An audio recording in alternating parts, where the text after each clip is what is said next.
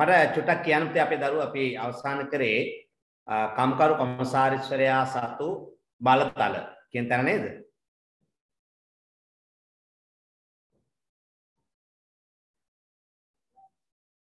මට චුට්ටක් කියන්න පුතේ අපේ දරුවෙක් හරියට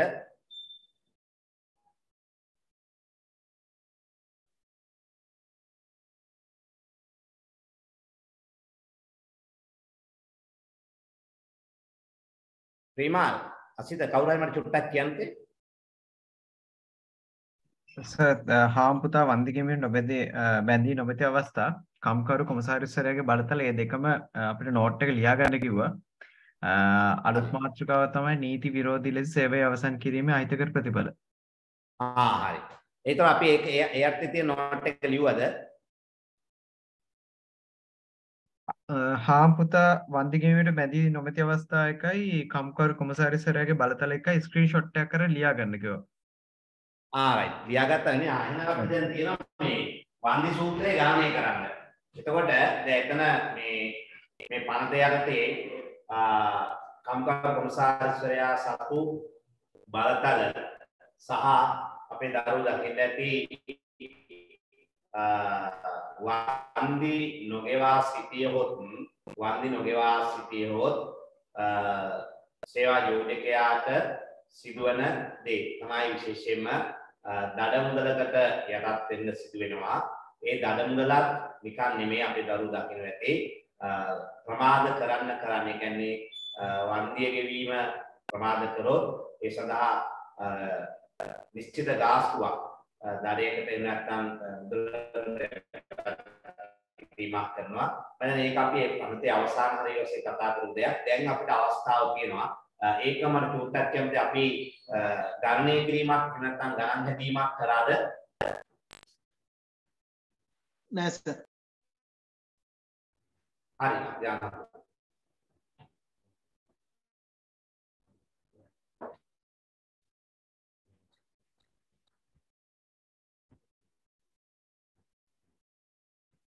Thank you.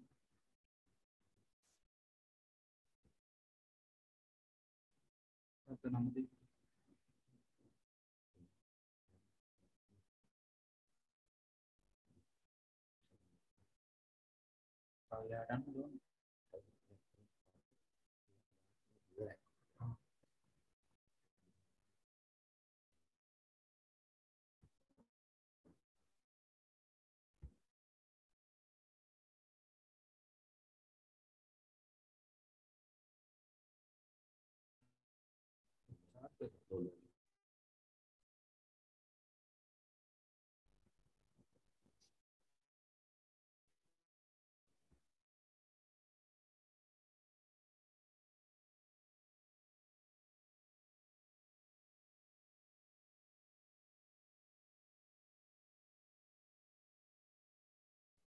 නමති පවයාගන්න ඕන අපි පොඩි ධර්මයේ භාගයේදී ලකුණු හතරක්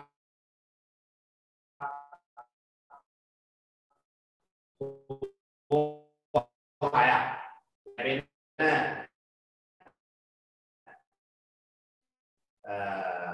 ධර්මයේ කිරීමක් කියනවා වර්ණ සූත්‍රය. එතකොට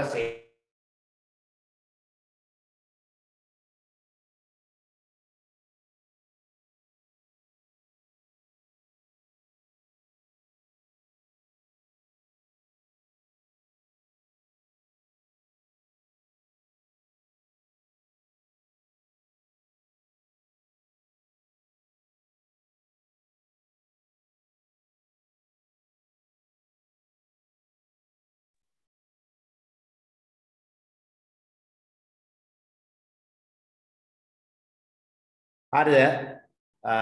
ඔයාලට මාව ඇහෙනව නේද? ඔව් සර් ඇහෙනවා. ආ හරි. ඔව් සර් ඇහෙනවා. හරි. එතකොට අපිට දැන් මේ ගණනය කිරීමක් කරන්න තියෙනම් ඒ ගණනය කිරීම තමයි වන්දි සූත්‍රයට අදාළව සේවකයෙක්ගේ වන්දියාව කොහොමද ගණනය කරන්නේ. එතකොට ඔබට විභාගයේදී අනිවාර්යයෙන්ම මේ ගණනය කිරීම එනවා. අපි එතන මාතෘකාවක් ලියමු. ඔයාව ලියලා තියෙන තැනටම ලියන්න. ලියලා තියෙන තැනටම ලියන්න.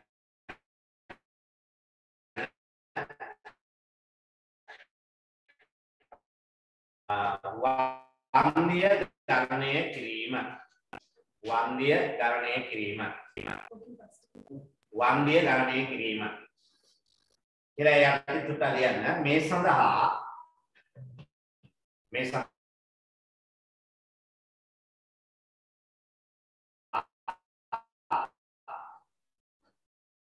සර් පැහැදිලි නැහැ. මේ සඳහා වන්දිය ගණනය කිරීම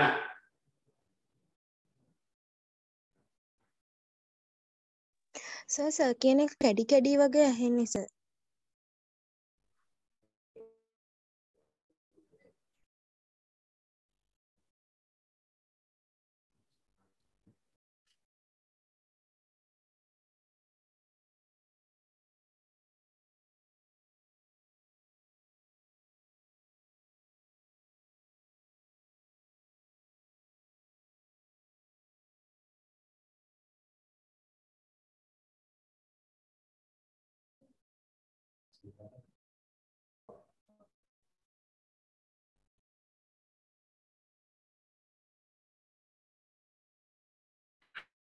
හරිද ඔයාලට මේ පොඩි අපහැදිලිතාවයක් තියනවාද? හැමෝටම පද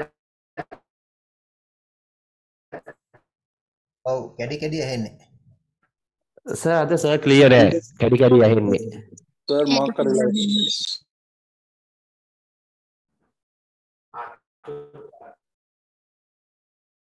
මේ හඬ නේ මම මේ තාක්ෂණික දෝෂයක් මොකක් හරි වෙන්න පුළුවන්. මේ හැබැයි අපේ ධර්ම මේ වගේ මේ කිසි දෙයක් කියන්න මම සමහර විට මේ දැන් පොඩයි අපේ මේ පොඩි මගේ සර් දැන් ඔය කියන දේවත් ඇහෙන්නේ නැහැ. අපිට පැහැදිලිව සර් මොනවද කියන්නේ කියලා.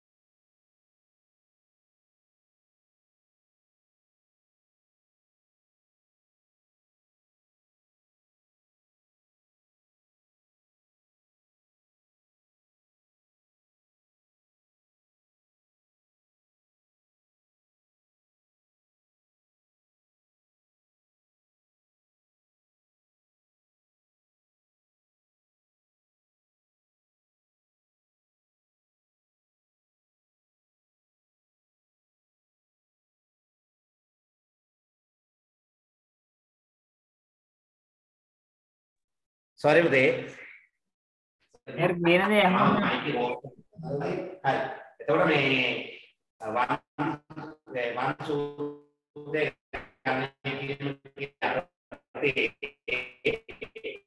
ලියන්න සර් තාම එහෙ- එහෙමයි සර්. ආහාර පොඩි විනාඩි මේ වෙනස්කමක් කරනවා. එතකල අපි මේ මේ සඳහා වන්දි සූත්‍රයේ උපයෝගී කරගන්න. වන්දි සූත්‍රය උපයෝගී කරගන්න.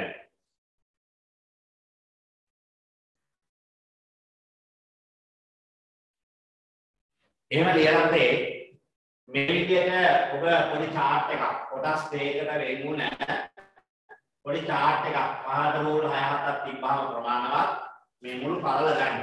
සම්පූර්ණ පළල අරගෙන පහට රූල් 6ක් 7ක් කියන පොඩි chart එකක්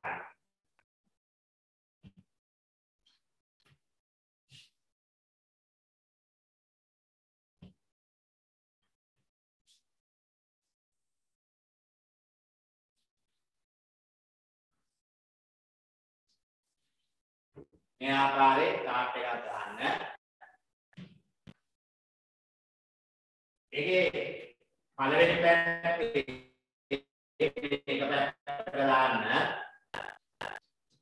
මම ලියන එක බලන්න එපා අපේ දරුවෝ. සේවය අවසන් කරන දිනට සේවය අවසන් කරන දිනට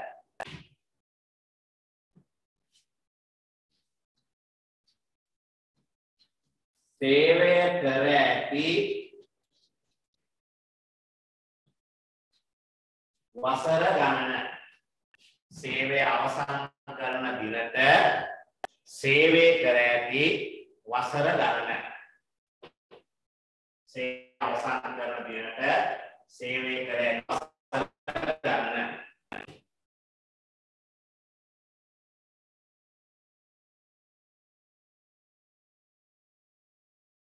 සේවය කර ඇති වසර ගණන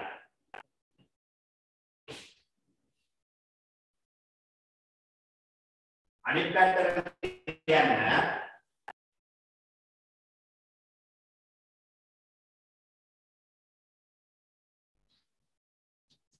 වන්දය සඳහා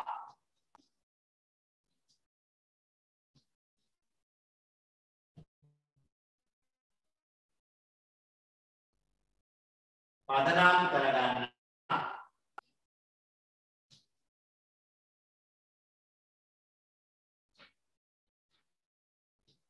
වැටුප් මාස ගණන වන්දිය සඳහා පදනම් කරගන්නා වැටුප් මාස ගණන. වන්දිය සඳහා පදනම් කරගන්නා වැටුප් මාස ගණන.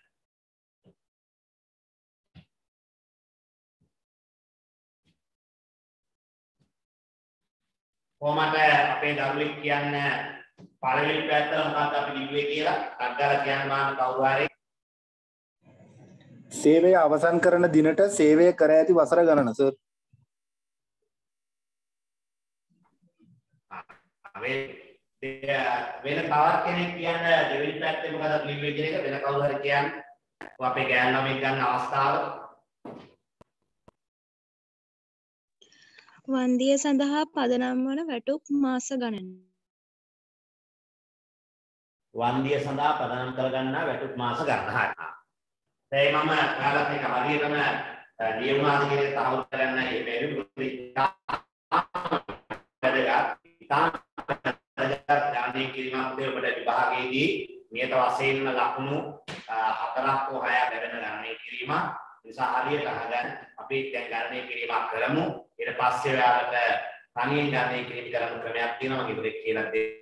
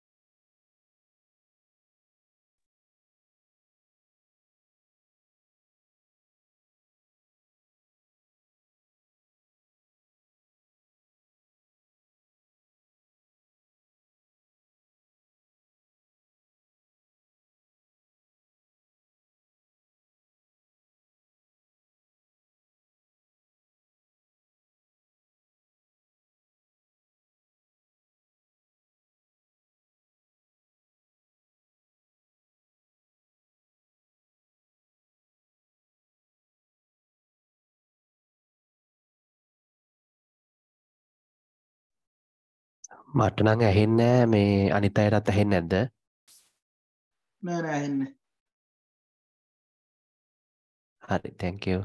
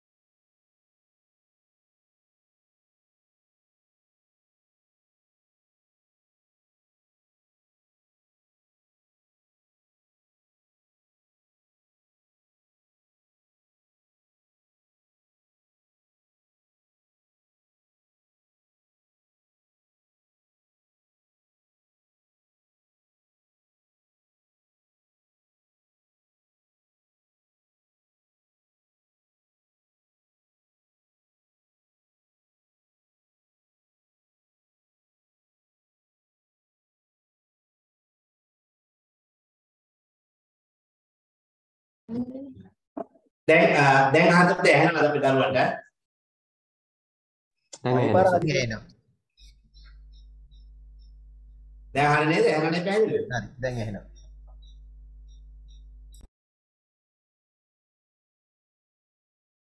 හරි.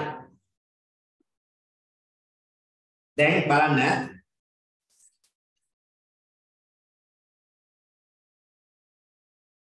අනේ උදේ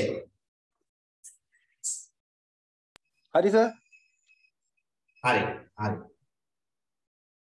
හරි දැන් බලන්න. එතකොට අපි අ, මේ මේ chart එක මම හිතන හරියට ලියාගන්න දැන් අ, දැන් අපිට අ, දැන් අකණ්ඩව දිගටම ප්‍රශ්නයකට යන්නේ නැත්තේ. පොඩි අ, පොඩි අ, කාර්ය දෝෂයක් නැති වුණා. මේ දැන් හරි දැන් ක්ලියර් කරා. අ, පොඩි වෙලාවක් යහත් මෙහාට වුණා නමුත් මේ දැන් හරි පුතේ හැමෝටම පැහැදිලිව ඇහෙනව නේද?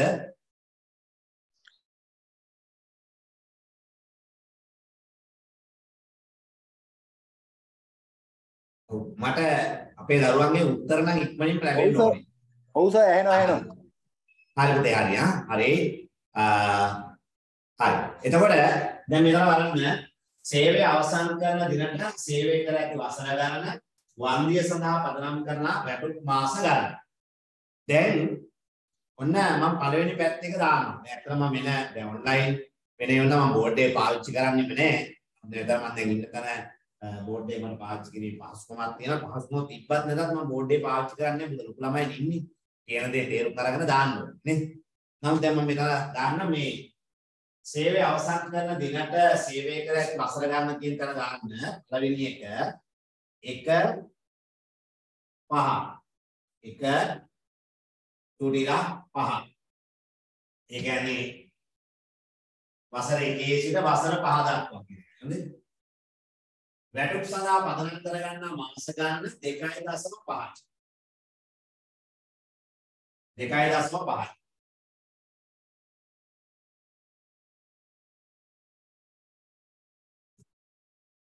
ඊළඟ දෙක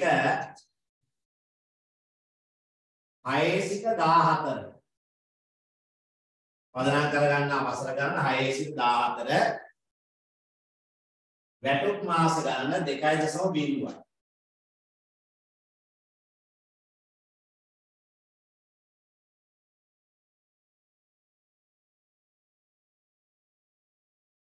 ඊළඟ තුන්වෙනි අවස්ථාව 15 සිට 19 පදනම් කර ගන්නා මාස පැටිස්නාට ගන්න 1.5යි. දැන් අපි දරුවන්ට පේනවා ඇති මෙතන පොඩි සමාන ක්‍රමයකට අඩු වීගෙන යනවා. දශම 5යි 5යි. හතරවෙනි අවස්ථාව 20 24 1.0යි. පස්වෙනි අවස්ථාව 25 34 බිංදුවදශම පහයි. දැන් අපේ දරුවන් එතකොට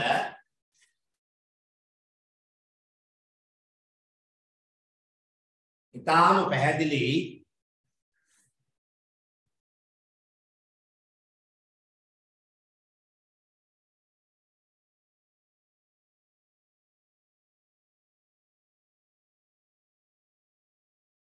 දැන් ඔබට ඉතාම පැහැදිලි පුතේ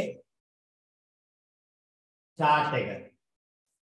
දැන් කාට හරි මේ chart එකේ දාලා තියෙන එක සම්බන්ධයෙන් මොනවා හරි ගැටලුවක් තියෙනවා නම් විමසන්න ටක් ගාලා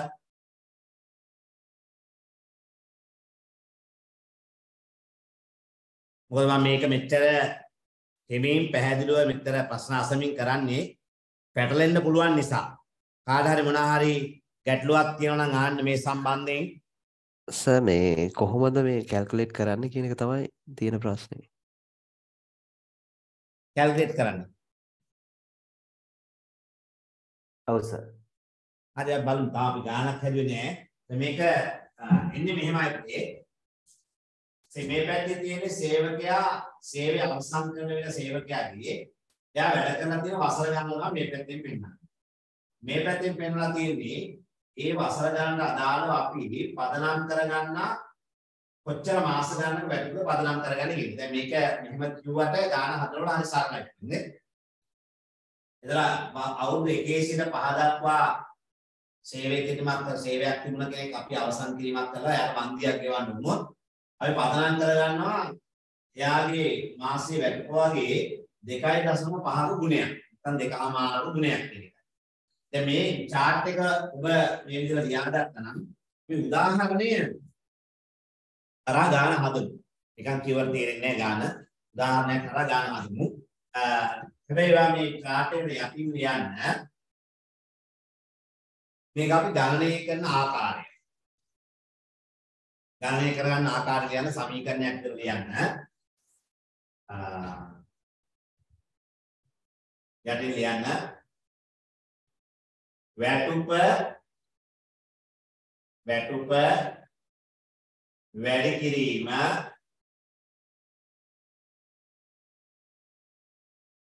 වැටුප වැඩි කිරීම. වැටුප් මාස ගණන. වැටුප් මාස ගණන. වැඩි කිරීම. වැටුප වැඩි කිරීම වැටුප් මාස ගණන වැඩි කිරීම. සේවා වසර ගණන. සේවා වසර ගණන. සේවා වසර ගණන. අනේමද වැටුප මේ ඔක්කොම දෙනවා අපිට ගන්නේ වැටුප වැඩි කිරීම වැටුප් මාස ගණන වැඩි කිරීම. සේවා වසර ගණන. සේවා වසර ගණන.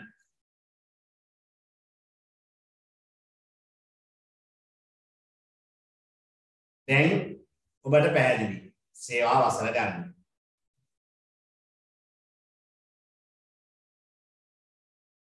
දැන් අපි උදේ පොඩි උදාහරණයක් ලියාගමු. දැන් අපි උදාහරණයක් ලියාගමු.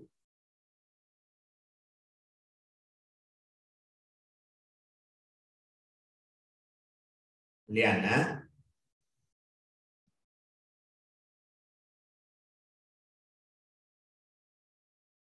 නිස්පාදන ආයතනයක නිස්පාදන ආයතනයක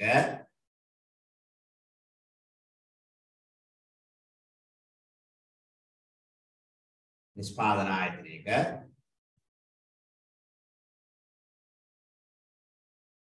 සැලසුම් ශිල්පියෙකු ලෙස. සැලසුම් ශිල්පියෙකු ලෙස.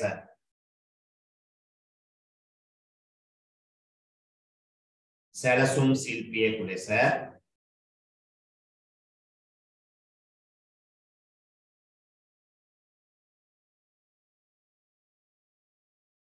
සේවය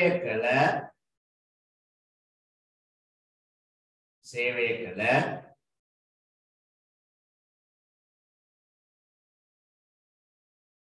සේවය කළ සේවය කළ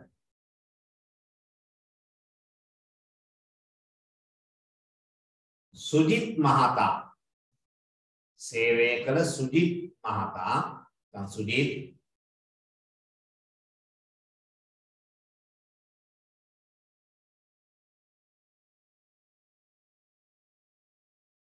වසර 20ක සේවයෙන් පසු වසර 20ක සේවා කාලයෙන් පසු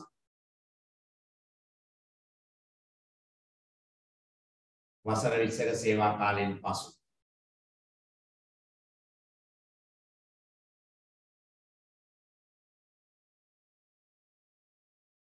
සේවා කාලයෙන් පසු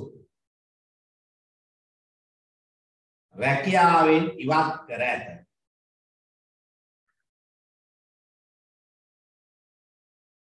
රැකියාවෙන් ඉවත් කර ඇත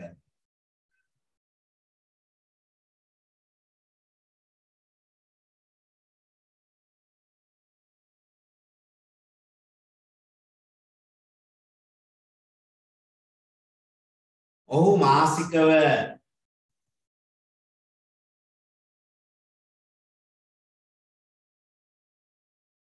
රුපියල් 45000ක වැටුපක් ලබා ඇත. මාසිකව රුපියල් 45000ක වැටුපක් ලබා ඇත.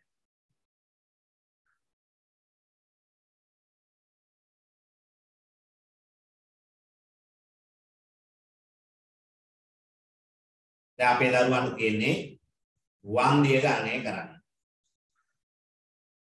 එතකොට අපි හිතමු මේ සේවකයාගේ රැකියාව අසාධාරණ ලෙස සේවයෙන් ඒවා ඉවත් කරලා තියෙනවා. නීතිමය අධිකරණය තුලින් ඔහුට වන්දියක් ගෙවන්න තීරණය කරලා තියෙනවා. ඒතර සේවා යෝජකයා ඔහුට ගෙවී යුතු වන්දිය අපි ගණනය කරන්න ඕනේ. ඒ සඳහා අපි වන්දි සූත්‍රය ප්‍රයෝගී කරගන්නවා. ඒතර වන්දි සූත්‍රයට අනුව කොහොමද අපි යාට ගෙවන්නේ කොච්චර වන්දියක් ගෙවන්න ඕනද කියන එක තමයි දැන් ගණනය කරලා තියෙන්නේ. දැන් ඔන්න අපේ දරුවන්ට චුට්ටක් මාත් එක්කත් සම්බන්ධ වෙලා ගාන හදාගෙන යන්න වෙයි. මොකද කියන්නේ? මගේ උදව් නැතුව හදනවද?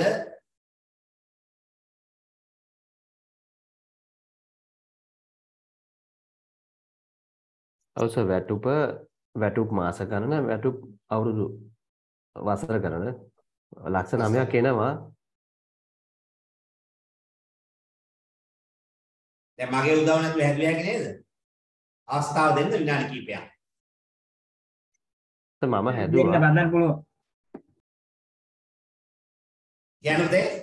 මම හැදුව සර් මේ ලක්ෂ 9යි එන්නේ. ලක්ෂ 9යි. ඔව්. ලක්ෂ 9 ගත්තේ කොහොමද කියන්නකෝ අපේ 45 ධර්මාංශ? ඔව් 45000 වැඩි කිරීම එක වැඩි කිරීම 20 සර් ආ එහෙම වැඩි කරන්න බෑ.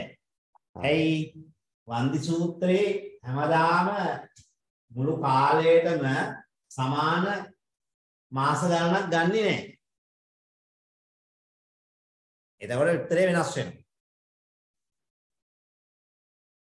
කො අපේ දරුවෝ ඉතින් කතා කරන්න ඕනේ දැන් ඔයාලා මේ ඔබේ පන්තියයි මා ඔබේ ගුරුවරයා පමණි මා හැමදාම කියනවා.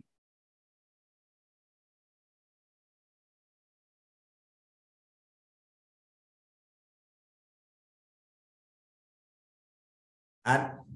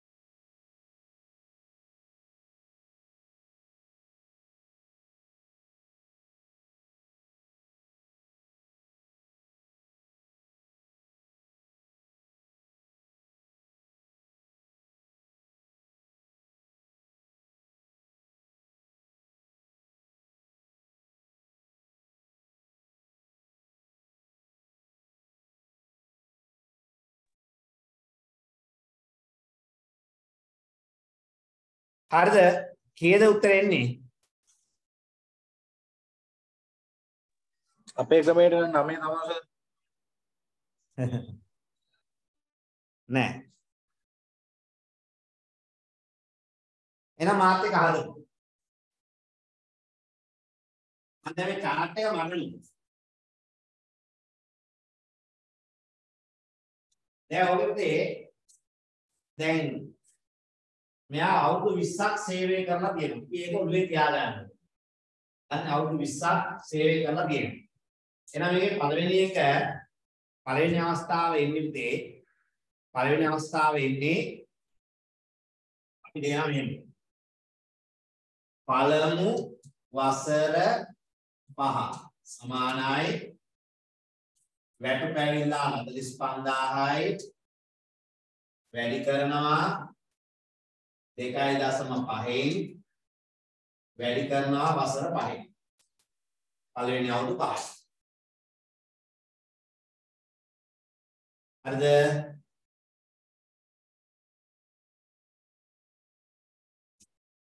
එතකොට ඊළඟ වසර කීයද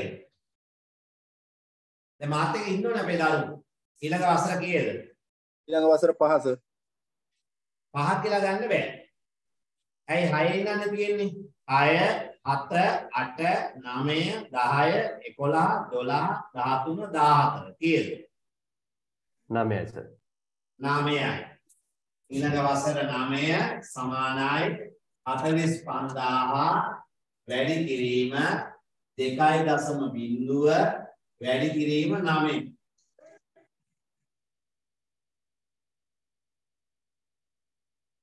දැන් එතකොට 5යි 9යි 10.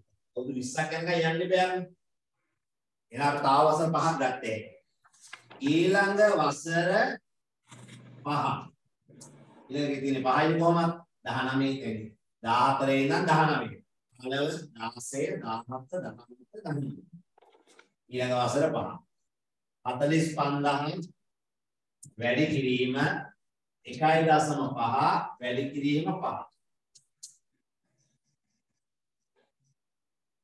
දැන් එතකොට අපි අවුරුදු කීයක් අරන් තියෙනවද? 20යි සර් 20ක් තාම ආවේ නැහැ. 19යි සර් 19. 19 නේද? 19. එහෙනම් අපිට තව එක අවුරුද්දක් ගන්න වෙනවා. එහෙනම් අපි ලියනවා ඊළඟ වසර. එක සමානයි 45000 වැඩි කිරීම 1.0 වැඩි කිරීම 1.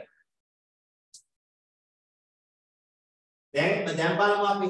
දැන් අවුරුදු 20 හරියද? 5යි 9යි 14යි 14යි 9යි 19යි 19යි 1යි 20යි. සේවාකාරී අවුරුදු 20යි කියන අපිට දුන්නේ. මේකෙන් තමයි සේවා වසර ගන්න ගන්න. ඒතකොට දැන් මේකේ උතේ මාස ගණන් ගන්නෙ නෑ. හොඳට මතක තියාගන්න. වසර ගන්න විතරයි ගන්න. අපි දැන් සේවකයෙක් වැඩ කරලා තියෙනවා අවුරුදු 12යි මාස 7ක්.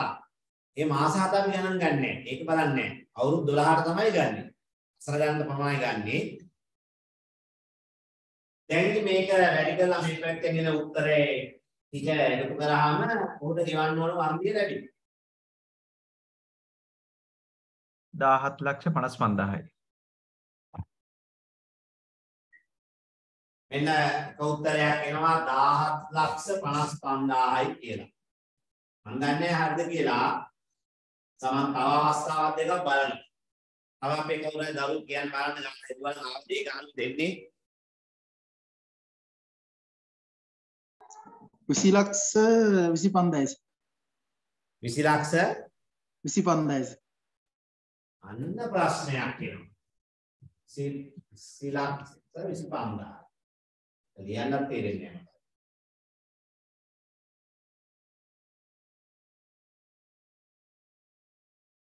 මම දන්නේ හරිද කියලා චේතනා රන්දික සනුනි සුපිපි කසුනි විමාල් දසුනි ධනුසි හිමාසි මම මේ පේන නම් ටිකක් කියන්නේ සිදා සෙනුර මං තමයි කලින් උත්තරේ කිව්වේ 1.7 කියලා. සෙව්වන්දි විමාල් අප්‍රේමාල් උත්තරේ දුන්නා. හතුන් අපි අසිත නෑ වෙන්න එපා. සර් 17 ලක්ෂ 55000යි 10 ලක්ෂ 55000 ක තව උත්තරයක් එනවා. 17 ලක්ෂ 55000යි ඔය අපේ මේ තරුණ ව්‍යාපාරිකයා රන්දික 7 ලක්ෂ 55000යි 10 ලක්ෂ 55000යි. මම මම මේ රන්දිකට ආමන්ත්‍රණය කරපු ක්‍රමය හරි නේද? හරි සර් හරි හරි ඒක තමයි මට මතකයි. සර් උත්තර දාසි. 15000යි. ආ දැන් නම් ආය වෙන කාගෙන්වත් අහන්නේ මොකද හේතුව මේ යුෂානි උත්තරය දුන්නා කියන්නේ ඒකේ අය අහන්න දෙයක් නැහැ. අ, 10 ලක්ෂ 55000 හරි කියලා කියනවා. දැන් අපේ මම එහෙම කිව්වහම අපේ කොල්ලෝ කියන්නේ මට හිතා ගන්න පුළුවන්. එහෙනම් සර් ඉදිරි හතර ගණන් වල ඔක්කොම ගෑන් තමයි උත්තරේ ගන්න අපෙන් අහන්න නැතුව කියලා හැම අපේ ධර්ම වංශලාට ලහිරුලාට එහෙම හිතනවා ඇති. නෑ සර් එහෙම හිතෙන්නේ නෑ සර් එහෙම හිතෙන්නේ නෑ සර් ඒ 17 ලක්ෂ 55000 නේ. ඉස්සලාම අපි ඇවිල්ලා නේද ladies first දෙනවනේ නේද? නෑ කලියෙන් 17 ලක්ෂ 55000 වැරදිලා ඒ ළමයා කිව්වම හරි ගියාද කියන එක තමයි ප්‍රශ්නේ. හරි. හරිද 17 ලක්ෂ 55000 හරි මම හිතන්නේ. නේද? ඕනනම් මම මේක වෙන් කරලා දාන්න. දාන්න ඕනේ නේද? හරියක් වෙලා යනවනේ.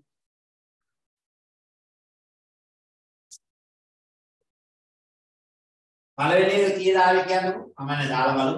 5 ලක්ෂ 62500යි සර්. කීයද? 5 ලක්ෂ 62500යි. 5 ලක්ෂ 62500 500යි. 500යි. ඊළඟ එකට 8 8 ලක්ෂ ලක්ෂ 10000 10000යි. 8 ලක්ෂ 10000යි.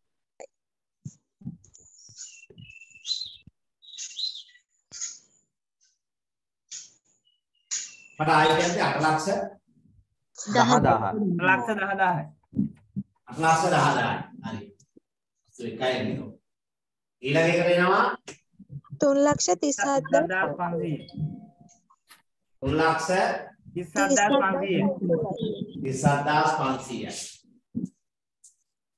මේ මට හොඳ කන් ඇහෙනවා වැඩි තියෙන මේ මේ මත් මේ දැන් අත්දැකලා මේකේ මේ මයික් එක පොඩ ඇහෙනවා මොකද ඒක මට ටච් ස්පීකර් එක මත පොඩ. කියන්නේ ඊළඟ ඊළඟ 45 එක ඊළඟ එක ඊළඟ මම කියන්නේ.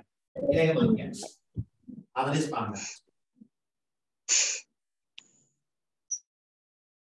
මේක එකතු වුණාම 17 ලක්ෂ 55000 55000 ලැබෙනවා. එතකොට සුජිත් එයාගේ සේවයෙන් අවසන් කිරීම හේතු කොටගෙන ආයතන වන්දියක් ගෙවන්න සිදු වුණොත් මෙන්න මේ කියන 17 ලක්ෂ 55000ක වන්දිය ගෙවන්න සිදු වෙනවා. මේක අපි ගණනය කරන්නේ පුතේ වන්දි සූත්‍රය හරහා. වන්දි සූත්‍රය හරහා තමයි ගණනය කරන්නේ. මම හිතන්නේ අපි කරුවන් ඉතාම පැහැදිලි.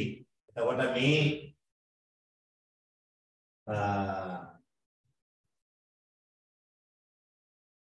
excuse me sir ගණනය කිරීමේ ක්‍රමය හොඳට මතක තියාගන්න. ඔව් අහන්න පුතේ.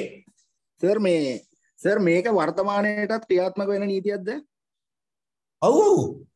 සර් ඒ වුණාට මම ප්‍රයිවට් කම්පැනි එකක වැඩ කරන්නේ මම අහලා තියෙනවා අහලා තියෙනවා මේක මම ප්‍රායෝගිකව අත්විඳලා නැහැ අහලා තියෙනවා දැන් සර් මේ වන්දි එහෙම දැන් අයින් වෙනකොට හරි එහෙම නැත්නම් අපි සමහර වෙලාවට කම්පැනි වලින් කට්ටිය අර අයින් කරන කාලවල තියෙනවනේ සර් සේවකයෝ වැඩි වුණාම කැමති නම් වන්දි අරගෙන අයින් වෙන්න පුළුවන් කියලා ඔව්. ඒ වගේ වෙලාවටත් මේ මේ නීතියමද වළංගු වෙන්නේ නෑ නෑ නෑ නෑ. දැන් මෙතන පැති කීපයක් තියෙනවා. ඒක හොඳ ප්‍රශ්නයක් ඔයා ඇහුවේ. නෑ මෙහෙමයි. දැන් මේ වන්දිය ඇත්තම දැන් මේකේ මේ වා- මේක ඉතාම අදට ක්‍රියාත්මකයි කියන තව එක පැත්තක් තමයි තේ මේකේ ඉස්සර තිබුණේ අ, සේවකයෙකුට වන්දිය දිය හැක්කේ උපරිමය උපරිමයේ වන්දිය ලබන්න පුළුවන්කම ලැබුණේ 12 ලක්ෂ 50000යි. ඊට වඩා වන්දියක් දෙන්න ඕනේ නෑ. හැබැයි මේ ඉතාම මෑත කාලෙකදී මේක වැඩි කරා ලක්ෂ 25 දක්වා. අපේ දරු මතක තියාගන්න. ලක්ෂ 25 දක්වා මේ අගය වැඩි කරා. ඒකට දැන් සේවකයෙකුට වන්දිය වශයෙන් ලක්ෂ 25ක් ලැබීමේ අයිතිය තියෙනවා. හැබැයි මේක මෙන්න මෙහෙම වෙන්න ඕන. මොකද්ද? අපේ සේවයෙන් ඉවත් වීමකදී හරි එහෙම නැත්නම් අපිට වන්දියක් දීලා එක්කන වෙලාවක හරි එහෙම නෙමෙයි. අධිකරණ මේ වශයෙන් අපේ අපේ රැකියාව අසාධාරණ ලෙස අහිමි කරනවා. අහිමි කරාම අපි නීතිමය ක්‍රියාමාර්ගවලට යනවා.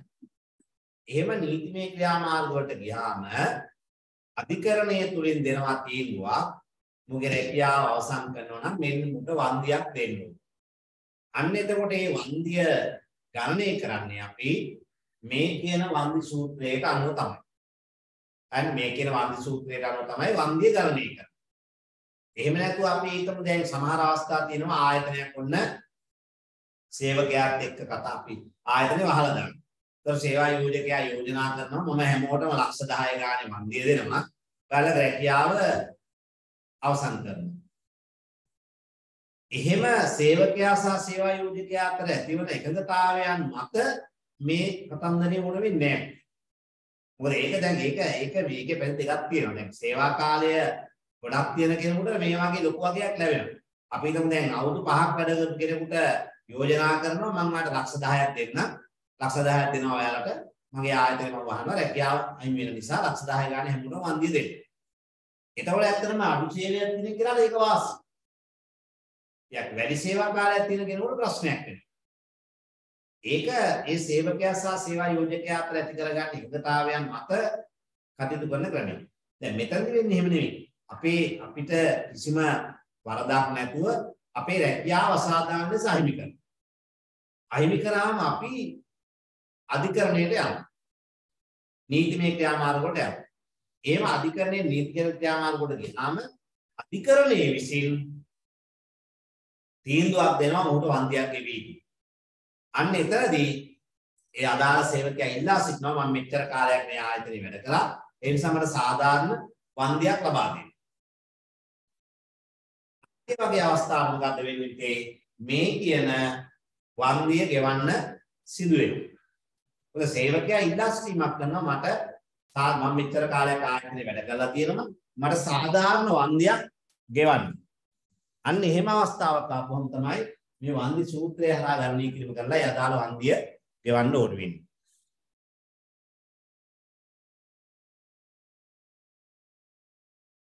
හරිද? හරි සර් thank you. හරි පුතේ. දැන් අනේ sorry සර් තව එක ප්‍රශ්නයක් තියෙනවා. very sorry. ඔව්. සර් එතකොට දැන් සර් මෙතන මේ මේ සර් දුන්න ප්‍රශ්නේ තියෙන්නේ වසර 20ක සේවා කාලයක්. අපි මේකේ දැන් ගණන් හදලා තියෙන්නේ. හෙලෝ. ඔව් කියන්න කියන්න. සර් එතකොට ඇයි සර් මේ අර මේ වන්දි හදනකොට මේ පළවෙනි වසර පහ සඳහා වෙනම ඊළඟට ඊළඟ වසර සඳහා වසර 9 සඳහා වෙනම ගන්න ඒක නීතියක් ඒක නෑ ඒක පුතේ මෙහෙමයි මේ සූත්‍රයක් ගොඩනගනකොට ඒ සූත්‍රයකට පදනම් වෙනවනේ මූලික න්‍යායක් එහෙම නැත්නම් මූලික ක්‍රමවේදයක්. ඒතර මේකේ ඒක පොඩි සාධාරණ ක්‍රමයකට හදලා තියෙන නේද? දැන් හිතන්න අඩු සේවා කාලයක් තියෙන කෙනෙකුට එහෙම නොවුනාම වෙන්නේ අඩු අඩු සේවා කාලයක් තියෙන කෙනෙකුට ලැබෙන වන්දිය අඩු වගයක් වෙනවා. දැන් මේකෙදී කරලා තියෙන බලන්න සේවා කාලය වැඩි වෙන්න වැඩි වෙන්න තමයි පදනම් කරගන්න මාස ගාන පල්ලෙහාට යනකොට අඩු වෙගෙන යන්නේ. හැබැයි සේවා කාලය අඩු කෙනෙකුට එතකොට අසාධාරණ දැන් මේකේ හැටියට දැන් මේ උදාහරණය හැටියට බලන්න අවුරුදු 5ක් සේවා කරපු කෙනෙකුට 560500ක් ලැබෙනවා. නෑ සර් මම අහන්නේ ඒක මේක බැරි වෙලාවත් අපි එකම සංඛ්‍යාවක් කියලා භාවිතා කරන්න. එහෙම නැත්නම් අපි තුමු මාසෙක වැටුප කියලා ගණනය කරාන ඇත්තටම අඩු සේවා කාලයක් තියෙන කෙනෙකුට ලැබෙන වන්දියේ පොඩි අඩුවක් තියෙනවා.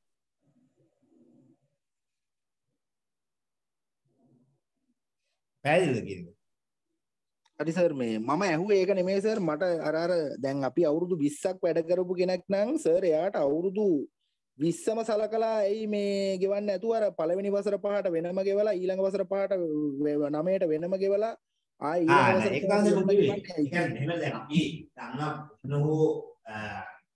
න්‍යායක් නැත්නම් සමීකරණයක් සූත්‍රයක් මොකක් හරි ගොඩනගනකොට ඒකට පදනම් කරගන්න මූලික නිර්ණායකයන් තියෙනවානේ දැන් එකක් තමයි ඇත්තට මේ මේ ක්‍රමවේදයේ සුද අපි දැන් කියනවනේ මිල සූත්‍රය කියනවා නේ නැත්නම් ඉන්ධන සඳහා මිල සූත්‍රය කියලා. මම එහෙම දේවල් අපි දරුවෝ දැකලා ඇති ඒවා හදනකොට මූලික න්‍යායාත්මක නිර්ණායක කීපයක් පදනම් කරගන්න වෙනවා.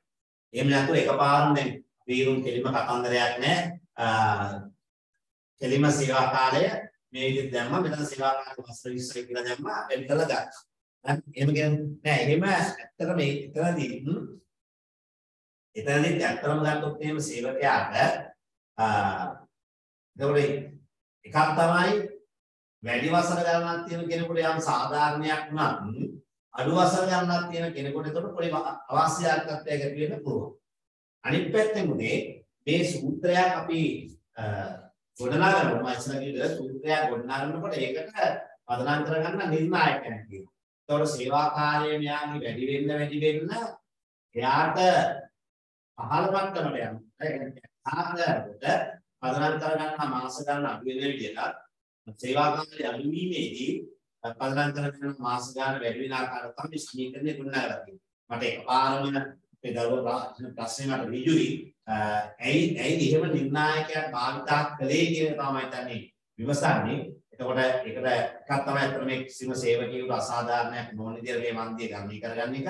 අනිත් පැත්තෙන් ලොකු සේවා කාලයක් තියෙන කෙනෙකුට සහ සේවා කාලය අඩු කෙනෙකුට මෙතනදී යම් සාධාරණත්වයක් ඇති කිරීම තමයි ක්‍රියාත්මක කර දෙන්නේ. දැන් මේ වගේම අපි දන්නවා ඔබ අහලා ඇති ආදායම් යතුතින් ආදායම් බදු ගෙවනකොට ආදායම් බදු ගෙවනකොට මේ ඔය ඔය කියන ප්‍රශ්නේ ආදායම් බදු ගෙවනකොට ඔබලා අපි දරු දැකලා ඇති ආදායම වැඩි වෙන්න වැඩි වෙන්න අපේ බදු අනුපාතය බදු අනුපාතයක් වැඩි වෙනවා. ආදායම වැඩි වෙන්න වැඩි වෙන්න බදු අනුපාතයක් වැඩි වෙනවා. මුලින්ම පළවෙනි අවුරුදු පළවෙනි ලක්ෂ පහට අපි 105ක බදු ගෙවුවොත් ඊළඟ ලක්ෂ පහට ලක්ෂ දෙකකට ලක්ෂ දෙකකට වෙන්න මේක ලක්ෂ 35 ලක්ෂ වෙනවා. 135 දක්වා වැඩි වෙනවා. කියන්නේ ඕනම සමීකරණයක් න්‍යායක් ගොඩනගනකොට ඒකට පදනම් කරගන්නේ ඒක අර පොදු සම්මත ක්‍රමයක් වශයෙන් භාවිත කරන නිසා.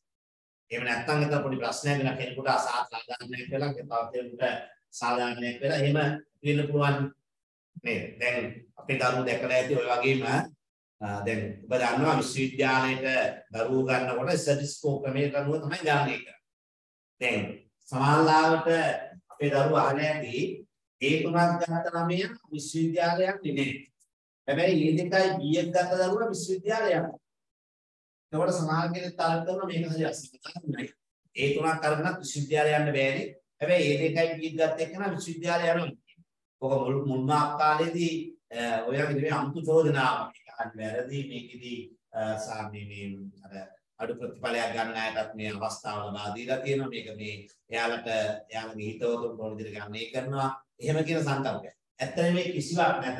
මේකෙදි වඩා දක්ෂයා තමයි සාධාරණත්වයේ කරලා තියෙන්නේ. වඩා දක්ෂයා තමයි සාධාරණත්වයේ කරලා තියෙන්නේ. දැන් මේ වඩා දක්ෂයා කියනකොට මේ දෙන්නෙන් කවුද වඩා දක්ෂයා කියන එක බලන්න වෙනවා. සාමාන්‍ය ඉසඩිස්කෝයෙන් ගණනය කරන්නේ ලකුණු මත. ලකුණු මතනේ. ඒතර මේක අපිට මෙයාට මේකට 75යි මේකට 75යි මේකට 75යි 225යි 300 225යි.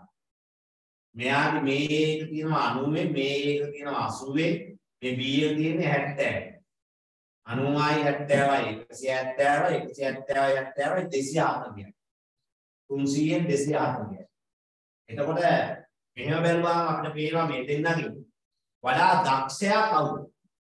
නේ?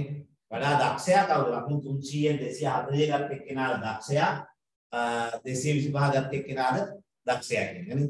එතකොට අපිට පැහැදිලි වෙනවා මේ සාධාරණ ක්‍රමවේදයක් ඒක. ඒතර මාර්ක් එක මත බැලු බැලමට මේ මෙයා දක්ෂයි වගේ පෙරුණට ලකුණු මතින් මෙයා ඉදිරියට ගිහිලා තියෙන ඒ ලකුණු මත ගණනය කරන නිසා සෙට් ස්කෝර් ක්‍රමයේදී සාධාරණ ක්‍රමයක් තියෙනවා. ඒ සමග අපි සමීකරණයක් ගොඩනගනකොට ඒකට පදනම් එක පොදුවේ භාවිත කරන්නේ. කෙනෙක් ලක්ෂ කරගෙන නෙමෙයි හැමෝටම සාධාරණයක් විය යුතු ආකාරයට තමයි සමීකරණයක් ගොඩනගන්නේ. ඒ නිසා තමයි මෙතනදී මෙවැනි සමීකරණයක් භාවිත කිරීම කරන්නේ. මට ඒකම මම චූටි අවස්ථාවක් ලබා ගන්න කියලා දරුවගේ ප්‍රශ්න විමසන දරුවගෙන් සාන දරුවගෙන් මේකට ඇත්තම පදනම් කරගත්ත මේ එකපාරම සේවා කාලය වැඩි කරන්නේ නැතුව මේ පදනම දාගත්තේ කුමන පදනමකින්ද කියන එක මටත් එකපාරම දින්නේ කරගෙන මේ සම්බන්ධ ටිකක් සැලකිලිමත් වෙලා මේ ඊළඟ අවස්ථාව දාලා කියන්නම් සමීකරණය කරනවා මෙන්න මේකයි එහෙම වෙන්නේ හේතු සාධකයේ කියන එක. හොඳ ප්‍රශ්නයක්. හරි. දැන් අපේ දරුවන්ට මම දෙනවා මෙන්න මෙහෙම වැඩක්. මම නෙමෙයි. ඔයාලම ඕකට උදාහරණයක් ලියා ගන්න. ඔයාලම උදාහරණයක් ලියා ගන්න. ඒ වගේම ඔබට තව ටික දවසක් ගියාම ලැබෙනවා ආසන්නම විභාග පේපර් එක පාස් පේපර් එකක්. ගිය මේ අපේ නොවැම්බර් 19 20 දවස් දෙකේ අපේ දරුවෝ දන්නවා අපේ එක්සෑම් එකක් තිබ්බා 10 11 දරුවන් සඳහා. බැච් 10 11 දරුවන්ගේ විභාගය පැවැත්වුණා. ඒ විභාගයේදී මේ ගණනය කිරීමක් තිබුණා. ඒතර ඒ වගේ පේපර්ස් අපේ දරුවන්ට ලබා ගන්න පුළුවන් මේ ඒ වගේම මේ මැනේජ්මන්ට් එකේ 1 2 1 2 පළමු හා දෙවෙනි කණ්ඩායම් දෙකත් ඒ අවස්ථාවේ විභාගෙ ලිව්වා. ඒතර මේ පේපර්ස් අපේ දරුවන්ට ලබා ගන්න පුළුවන්. හැබැයි මම ඔබට යෝජනා කරනවා ඔබ මැනේජ්මන්ට් ඩිප්ලෝමා එක කළාට HR ගේ පේපරුත් ඔබ ගන්න. මොකද මේ ඇත්තට මේ දෙකේ මේ දැන් මැනේජ්මන්ට් පාඩම විෂය ගත්තත් HR විෂය ගත්තත් ලොකු වෙනසක් වෙන්නේ නැහැ. මාතෘකා පෙළ ගැස්මේ පොඩි වෙනසක් වෙනවා. ඒ නැතු ලොකු වෙනසක් වෙන්නේ නැහැ. ඒ නිසා ඔබට මේ පේපර් දෙකම يعني HR එකේ පේපර් එකත් BM එකේ පේපර් එකත් කියන දෙකම සෑහෙන ප්‍රමාණයක ලියන්න පුළුවන්. සබ ඒ ඒ පේපර්ස් වර්ග දෙකම ඒ කියන්නේ HR ඩිප්ලෝමා එකේ පේපර් එකක් බිස්නස් මැනේජ්මන්ට් ඩිප්ලෝමා එකේ පේපර් එකක් කියන දෙකම ලබා ගන්න. අර ඔයාලා ගෲප් වලට දායි ඒවා. එහෙම දැම්මහම ඒවලත් තියෙනවා මේ ගණනය කිරීම. පුළුවන් ඔබට ගණනය කිරීම කරන්න. එහෙම නැත්නම් ඔබට පුළුවන් තව ඔබ කැමති වැටුපක් ඔබ කැමති වසල ගණනක් ඔබ කැමති නමක් දාලා පොඩි ගණනය කිරීමක් පොඩි ගාණක් මගේ උදාහරණ දිහා බලන්න ගාණක් දෙයාගෙන ගණනය කරලා බලන්න. ඒත් ප්‍රැක්ටිස් කර ගන්න අවස්ථාව ලැබෙනවා. හරිද? right. එහෙමනම් දැන් අපි ඒ සේවාදායකගේ සේවය අවසන් කිරීමේ විශේෂ විධිවිධාන පනත ගැනයි කතා කළේ. ඊළඟට අපිට අවස්ථාව තියෙනවා තවත් පනතකට ප්‍රවේශයක් ගන්න. හැබැයි මම අපේ දරුවන්ට කිව්වා මේ අනපනක් ගැන අපි කතා කරන අතරතුරම වාණිජ නීතිය පිළිබඳ අපිට පොඩි ප්‍රවේශයක් ලබා ගැනීම අවශ්‍ය වෙනවා. මම දැන් චුට්ටක් ඒ නිසා අතර අපේ දරුවෝ තේරුම් ගන්න, පටල ගන්න එපා. මම පණක් ටිකක් ඔයාලට කතා කරන ගමන් වාණිජ නීතිය යටතේ පාඩම්කුත් පොඩ්ඩක් දැනට ඇදගෙන යනවා. එතකොට මේ අනපනත් අපිට තව බොහොම කීපයයි තියෙන්නේ. අන්න තව පොඩි අනපනත් දෙක තුනක් තියෙනවා. අපි එතනින් සම්පූර්ණ ඒක ඉවරනවා. ඒතර අපිට වාණිජ නීතිය පිළිබඳ ඉගෙන ගන්න අවස්ථාව ලබා ගන්නත් වෙනවා. දැන් මේ ස්ත්‍රීන් තරුණයින් හා ළමුන් සේවය ඉදවීමේ පනත. ස්ත්‍රීන් තරුණයින් හා ළමුන් සේවය ඉදවීමේ පනත. ඒ පනත පිළිබඳ අපිට පොඩි ප්‍රවේශයක් ලබා ගන්නත් පුළුවන්. ඒ වගේම මම අර ඉස්සලා කිව්ව විදිහට වාණිජ නීතිය. ඒක රටකට අපේ රටේ මේ වාණිජ නීතිය නිර්මාණය වෙන ආකාරය වාණිජ නීතිය නීතියක් වශයෙන් ගලාගෙන එන ක්‍රමවේදය මේක අපිට වැදගත්තාවයක් වෙනවා. ඒ නිසා අපි දැන් ඔබ ඔය ලියපු තැනට ඊළඟ පනත වශයෙන් යන්න ස්ත්‍රීන් තරුණ අය හා ළමුන් සේවය ඉදවීමේ පනත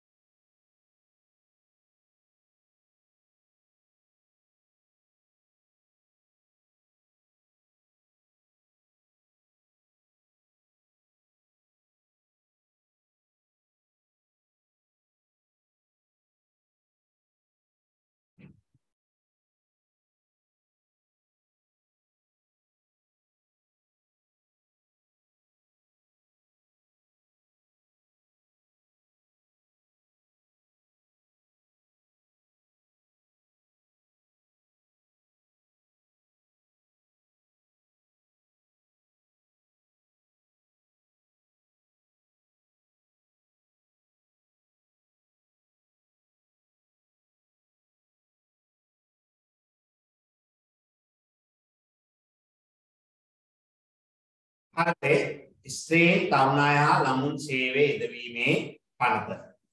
එතකොට දැන් අපේ දරුවෝ දන්නවා මෙතනින් එහාට අපිට තියෙන පාත් තාම මේ නෝට් එක වශයෙන් ගත්තාම හරි පොඩි නෝට් එකක් කියවෙයි. හැබැයි පනත් වශයෙන් ගත්තාම ඒවා ඉතාම වැදගත් වෙනවා. මොකද මම හැමදාම අපි දරුවන්ට කියන දෙයක් තමයි අපි ව්‍යාපාරේ يعني ව්‍යාපාර කළමනාකරණය ඉගෙන ගත්තත් අපිට වැඩ කරන්න වෙන්නේ සේවකයන්. එතකොට අපි ව්‍යාපාරයක් කළමනාකරණය කරනකොට සියලු සම්පත් භෞතික සම්පත්, තොරතුරු සම්පත්, මූල්‍ය සම්පත්, මානව සම්පත් මේ සියල්ල අපි හසුරවන්නේ. ඒතර ඔබ ඔබට මේකෙන් ලැබෙන ප්‍රධානම වාසිය වෙන්නේ මේ මානව සම්පත හසුරවගන්නේ කොයි ආකාරයෙන් කියන එක පිළිබඳ අපි ටිකක් එතනදී මානව සම්පත් කළමනාකරණයේ කොටසින් වගේම ලෝයකේදී ඔබට වැදගත් වෙනවා මේ සේවකයාව පාලනය කරන්න නීත්‍යානුකූලව හසුරව ගන්න අපිට තියෙන ලේබර් ලෝ එක. මේ කාර්මික නීතිය කොතෙක් දුරට අපිට පළදාරි භාවිත කරගන්න පුළුවන්ද අනිත් පැත්තෙන් ව්‍යාපාරයක් අපි කරනකොට මේ ව්‍යා මේ ව්‍යාපාරය කියන එක මොකක්ද? මේ ව්‍යාපාරයේ ස්වභාවය මොකක්ද? මම කරන්න යන්නේ කුමන ව්‍යාපාරයක්? මම අපි මම මගේ වෘත්තිය නිතරයින මේ ව්‍යාපාරේ කුමන ව්‍යාපාරයක්? ඒකට තියෙන නෛතික පසුබිම් මොනවද?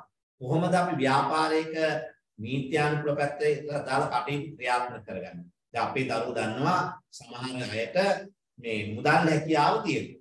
කියන්නේ ව්‍යාපාර ව්‍යාපාරයකට මුදල් ඉදවීමේ ආයෝජනය කිරීමේ හැකියාව තියෙනවා.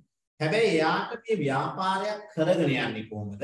මේකට තියෙන නීතිමය පසුබිම මොකද්ද? නෛතික වශයෙන් බලපාන තැන් මොනවද? මේ පිළිබඳ අවබෝධයක් නැහැ.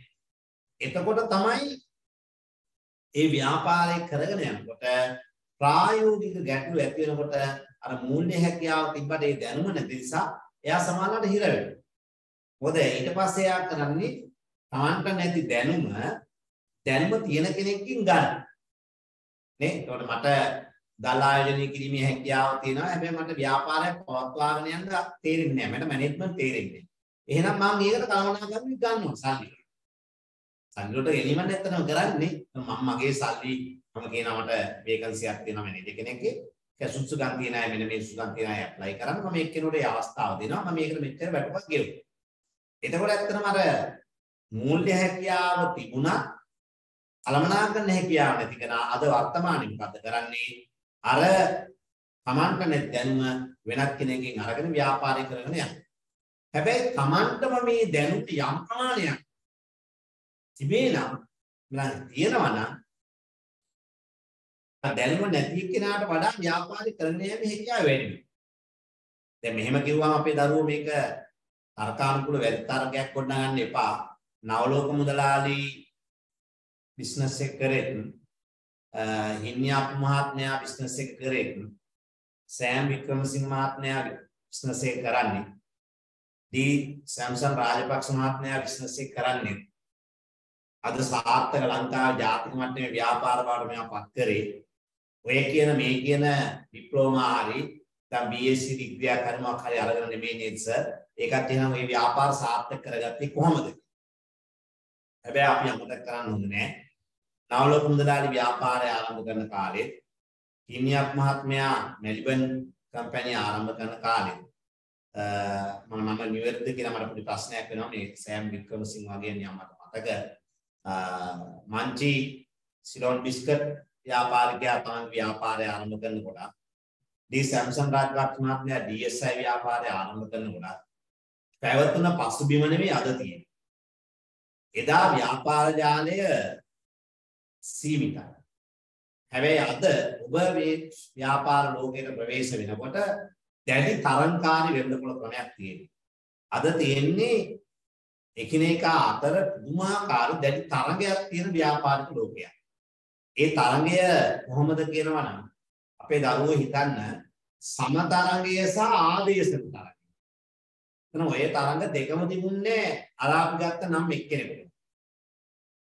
හැබැයි අද ඔබ ව්‍යාපාරයක් කරන්න එනකොට තරුණයෙක් වශයෙන් ඔබ ඔබට තියෙනවා සමතරගය. ඒ කියන්නේ ඔබ කරන ව්‍යාපාරයක්ම කරන තවත් ව්‍යාපාර රසක් තියෙනවා. ඒ කියන්නේ සමතරගය. හරි දැන් මංචි සහ මැලිබර් සමතරගයන්නේ තියෙනවා. දෙන්නම කරන්නේ බිස්කට් හදන එක. කොකාකෝලා එලිෆන්ට් හවුස් දෙන්නම කරන්නේ බීම හදන එක. සමතරංග. හැබැයි අද මේ සමතරං කරුවට අමතරව එනවා තව තරං කරුවේ. ඒ තමයි ආදේශන තරංග. කවුද මේ ආදේශන තරංග කරුවා කියන්නේ? ආදේශන තරංග කරුවා. අර අපේ දරුවෝ කියන්නේ දායක වෙන ආදේශන තරංග කරුවෝ කියන්නේ. ඒ කියන්නේ මේ විකු ඒකට සමාන බිස්නස් එකක්. නමුත් අර අර තරම් උඩට ගියපු නැති මෙයා දැන් අන්න බලන්න. හරි. දැන් මේ බලන්න.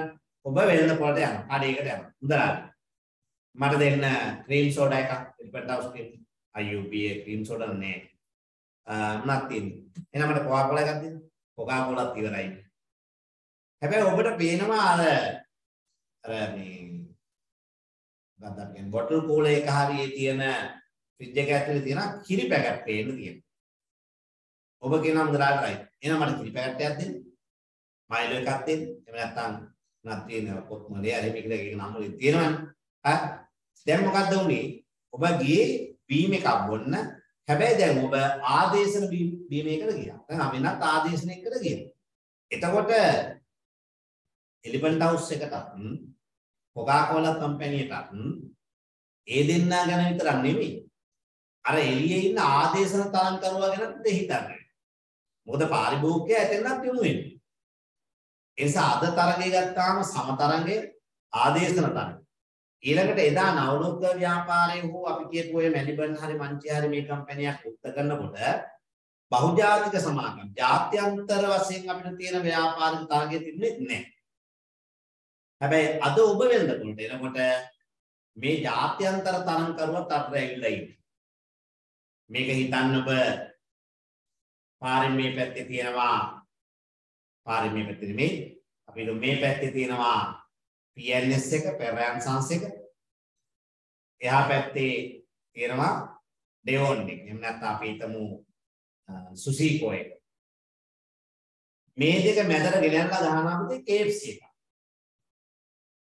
දැන් බලන්න PNS එකටයි සුසීකෝ එකටයි නැත්නම් ඩෙවොන් එකටයි තිබුණේ ඒ දෙන්න දේශීය ව්‍යාපාර දෙකක් ඒ දෙන්නගේ තරගය.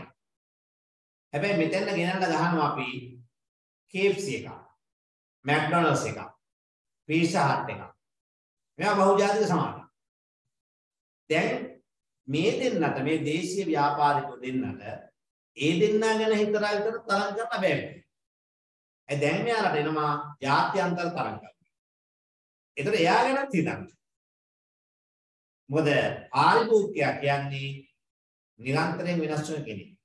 අවුරුදු ගණනාවක් පෙරයන් සංසයකට ඇවිල්ලා මොනහත් දෙයක් කාලා බීම් එකක් කූල් එකක් බීලා ගිය මිනිස්සයා එහා පැත්තේ තියෙන පීසා එකට යන්න සෝරි KFC එකට යන්න පුළුවන්. වළක්වන්න බෑනේ. පාරයේදී අපිට අපුඩි ගහලා කතා කරලා ගන්න බෑනේ. මේ මෙහෙන් මේ ඔය අපේ ගාඩේ ගාඩේ හැමදාම මේ මේ මේ මේ විවි මේ කරේ ඇයි වෙ යන්නේ කියලා එහෙම ගන්න බෑ. මොකද පාරිභෝගිකයාට Tamanda දිස්සේ වෙනතපොලේ හැසිරීමේ අයිතියක් තියෙනවා. තෝරාගැනීමේ අයිතිය. එතකොට අන්න පුතේ තරඟය. ඒ නිසා අද ව්‍යාපාරයක් අපි කරනකොට එහෙම නැත්නම් අද අපි ව්‍යාපාර ලෝකෙට එනකොට අර අතීත කියවනක් තිබුණා. මොකද වර්තමානටත් ඒක බලන් වෙනවා. දැන වෙනදාම නොදැන ගොවිතැන කියලා. එහෙම කියවනක් තියෙනවා. දැන වෙනදාම නොදැන ගොවිතැන. ඇත්තටම දැන වෙනදාම තමයි දැන් කරන්න වෙන්නේ. දැන් වෙනදාම කරන්න බෑ පුතේ. දැන් ව්‍යාපාර කරන්න බෑ අනවබෝධයෙන්. අවබෝධය තිබිය යුතුමයි. දැනුමක් තිබිය යුතුමයි යම් ප්‍රමාණයක හරි Tamanට දැනුම නැත්නම් ඒ දැනුම නැති දැනුම මුදලට අරගෙන හරි ඒ කියන්නේ ඒ දැනුම තියෙන කෙනෙක් ගන්නවා. අරගෙන හරි ව්‍යාපාර කරනවා මිසක් දැන් අපිට එහෙම අපිට හිතුමන අපි ව්‍යාපාර කරන්න බෑ. මේ නිසා මේ ව්‍යාපාර ලෝකේ ප්‍රවේශයෙන් තියෙනවා දැඩි තරංකාරීත්වයක්. ඒ තරංකාරීත්වය තුළ අපිට ව්‍යාපාර හසුරවන්න අවබෝධයක් තියෙන්නත් ඕනේ. හැබැයි ඒ වගේම තමයි එදාට වඩා අද ව්‍යාපාරික ලෝකයේ නීති වැඩි. එදාට වඩා ව්‍යාපාරවලට බලපාන නෛතික පසුබිම වැඩි. එතකොට අපිට සිදු වෙනවා මෙන්න මේ නෛතික පසුබිම පිළිබඳව සැලකිලිමත් වෙන්න. සරලම උදාහරණයක් ගත්තොත් අපේ දරුවෝ දන්නවා ඔබ දන්නවා අද අපිට කම්පැනි එකක් ආරම්භ කරන්න බෑ ලියාපදිංචි කිරීමකින් තොරව. ලියාපදිංචි කිරීම තුර ආරම්භ කරන්න බෑ. 1900 sorry 2007 අංක 7 සමාගම් පනතට අනුව වෙන එකක් තියද්දී අපිට කම්පැනි එකට අපිට කැමති නමක්වත් දාගන්න බෑ. අපිට කැමති නමක්වත් දාගන්න බෑ කම්පැනියක් වෙන. අනි ව්‍යාපාරයකට පුළුවන්. හැබැයි කම්පැනියක් වෙද්දී අපිට කැමති නමක්වත් දාගන්න බෑ. ඇයි? අපේ නම පවා සමාගම් රෙජිස්ට්‍රාර් ජෙනරාල් අනුමත කරන්නේ. මොකද අපිට දැනට ව්‍යාපාර ලෝකයේ තියෙන නමක් පාවිච්චි කරන්න බෑ. දැනට ව්‍යාපාර රෙජිස්ට්‍රාරයක් ලියාපදිංචි කරලා තියෙන නමක් අපිට දාගන්න බෑ. එහෙම දැම්මොත් අදාළ කම්පැනි අනිත් කම්පැනි අපිට නඩු දානවා. වෙන එකක් තියා වර්ණයක්වත් පාවිච්චි කරන්න බෑ සමහර අවස්ථාවල. ඒ කියන්නේ තරංකාරී ආයතනයක් තමන්ගේ කම්පැනි එකට මොකක් හරි නමක් සමග කල එකක් රෙජිස්ටර් කරලා තිබුණා. දැන් අපි අපිනේ උදාහරණයක් වශයෙන් ගත්තොත් අපේ දරුවන්ට තේරෙනවා මේ මම ඔයාලට කියනවා මොබිටෙල්. දැන් මොබිටෙල් කම්පැනි එක කියනකොටම අපිට මොබිටෙල් කියන අර එම්මක් ප්‍රොඩිය වෙන හැඩයත් එක්කම ඒ එක්කම පොඩි කලර්ස් දෙකකුත් අපේ ඔළුවට එනවා. මොකද්ද කලර්ස් දෙක? කොළ පාටයි නිල් පාට. මොබිටෙල් එකේ තියෙන කලර්ස් දෙක මොකද්ද? කොළ පාටයි නිල් පාටයි. කොළ පාටයි නිල් පාටයි. දැන් ලංකාවේ වෙනත් කාටවත් පුතේ ඔය ඔය ඒ ඒ කොළ පාටයි ඒ නිල් පාටයි සංනිවේදනායකයට පාවිච්චි කරන්න බෑ. පාවිච්චි කරන්න බෑ. හේතුව එයාලා ඒ වර්ණ දෙකක් එක්කම තමයි එයාලගේ ලෝගෝ එක නැත්නම් එයාලගේ බ්‍රෑන්ඩ් එක. එයාලගේ බ්‍රෑන්ඩ් මාක් එක හදලා තියෙන්නේ අර කලර්ස් දෙකත් එක්කම. එතකොට ඒක එයාලා රෙජිස්ටර් කරලා තියෙන්නේ.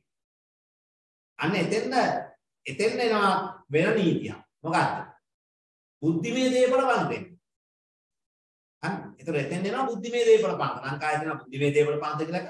ඒතර බුද්ධිමය දේපල පන්ත ඇවිල්ලා කියනවා අන්නද මේක මේක ඇවිල්ලා මේ කම්පැනි රෙජිස්ටර්ඩ් මේ මාක් එකේ තියෙන කලර්ස් දෙක ඔබට මේ පාවිච්චි කරන්න බෑ. පාවිච්චි කරොත් අදාළ කම්පැනි ඔබට නම් දාන්න. බුද්ධිමය දේපල යත්තේ නම් දාන්න පුළුවන්. මොකද අපිට වෙළඳ නාමයක් උතේ රෙජිස්ටර් කරන්න බෑ. හැබැයි මාක් එක අපිට රෙජිස්ටර් කරන්න පුළුවන් ඊළඟට. බුද්ධිමේ දේපල පනත යටතේ අපේ මාක් එක අපිට රෙජිස්ටර් කරන්න පුළුවන්. අපි කියමු ක්‍රීම් සෝඩා, කොකා කෝලා එහෙම නැත්නම් මොකද මිරෙන්ඩා කියයි, සෙවන් අප් කියයි ඔය එක නම් තියනවනේ බීම වල දාපු. ඒක නෙමෙයි. අර මාක් එක නැත්නම් කම්පැනි බ්‍රෑන්ඩ් එක බ්‍රෑන්ඩ් මාක් එක ඒකට කියනවනේ සන්නම් ලකුණ කියලා කියනවනේ. වෙළඳ ලකුණ කියලා කියන්නේ. ඒතර මේ බ්‍රෑන්ඩ් මාක් එක පුතේ රෙජිස්ටර් කරන්න. දැන් ඔබට උනත් පුළුවන්. ඔබ මොකක් හරි දෙයක් ක්‍රියේට් කරන කෙනෙක් නම් ඔබට පුළුවන් බුද්ධිමය දේපල පනතයක් ඔබගේ මේ මාක් එක හරි ඒ වාක්‍ය ඛණ්ඩය හරි ඒක රෙජිස්ටර් කරගන්න. ඒක පුතේ ඒතර වෙන කෙනෙකුට ආයෙ පාවිච්චි කරන්න බෑ. පාවිච්චි කළොත් බුද්ධිමය දේපල පනතයක් ඔබට පුළුවන් ඒකට නීතිමය කටයුතු ක්‍රියාත්මක කරන්න. ඒ සත්‍ය අපි අතීතයේදී ව්‍යාපාරයක් පවත්වගත්ත ක්‍රමවේදයටම අතීතයේදී ව්‍යාපාර ආරම්භ කළ ක්‍රමවේදයටම අතීතයේදී ව්‍යාපාර පවත්වාගත්ත ක්‍රමවේදයට අද අපිට ව්‍යාපාර පවත්වා ගන්න බෑ. අන්න පුතේ බිස්නස් මැනේජ්මන්ට් ව්‍යාපාර කළමනන බිස්නස් මැනේජ්මන්ට් ව්‍යාපාර කළමනන මේ කියන බිස්නස් මැනේජ්මන්ට් එකේ ඉල්ලුම අවශ්‍යතාවය වැදගත්කම වැඩි වෙනවා මෙන්න මේ කියන ව්‍යාපාර ලෝකයේ ඇති වෙන වෙනස් වීමත් එක්ක. ඒකම තමයි මේ බිස්නස් ලෝ එක. බිස්නස් ලෝ එකකට තියෙන අවශ්‍යතාවය වැඩි වෙනවා. ව්‍යාපාර නීතිය අවශ්‍යතාවය. ඇයි? එකක් තමයි මම අර කිව්ව විදිහට තරංකාරීත්වය අනිත් පැත්තෙන් පුතේනවා තව බලපෑමක් අපිට මොකක්ද? ව්‍යාපාර ලෝකේ තරංකාරීත්වයෙන් එළියට ගිය තියෙනවා මිනිසුන්ගේ දැඩි මේ ව්‍යාපාර තමන්ගේ ව්‍යාපාරයන් තුළ මාකට් එකේ ෂෙයා එක. මාකට් ෂෙයා එක. මට දර උදව් කරන්න. මට ඒක වචනය ආවේ නැහැ පාරම මේ කොටස් වෙළඳපොළ කොටස්.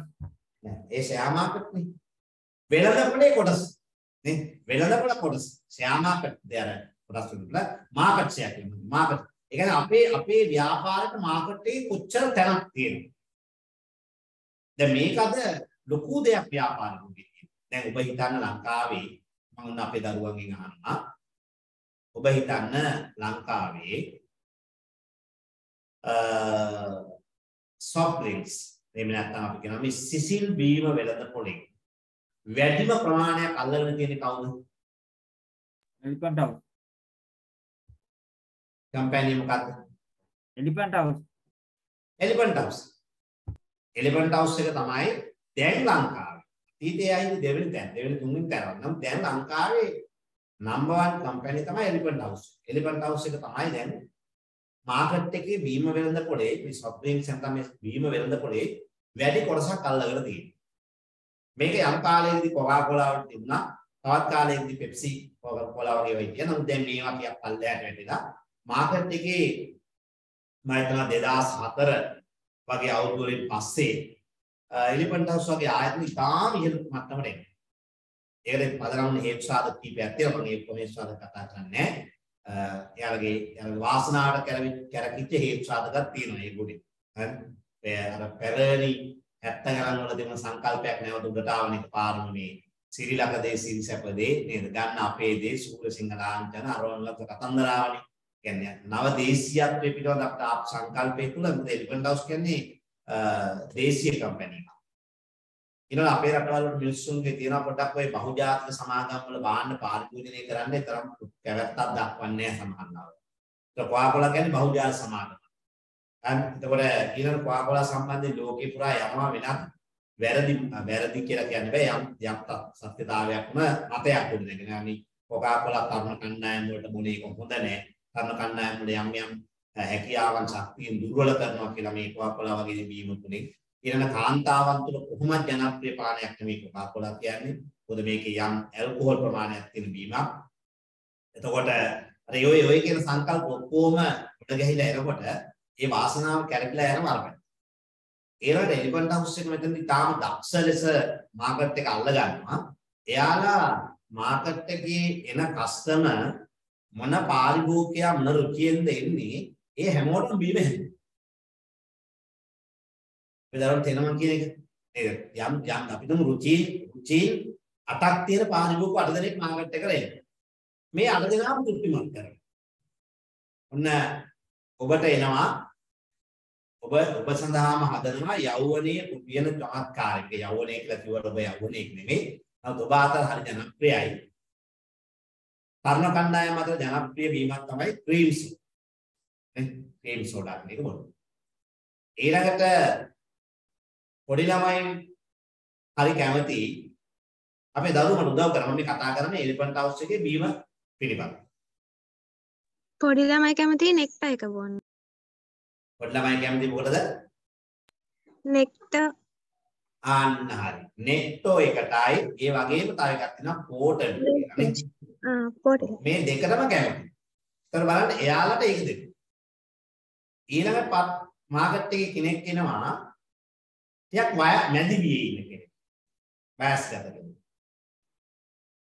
එයා ක්‍රීම් සෝඩා බොන්න කැමතිත් නැහැ. නෙක්ටෝ බෝට්ටෝ බොන්න කැමතිත් නැහැ. එයා ඉල්ලනවා මොකක්ද?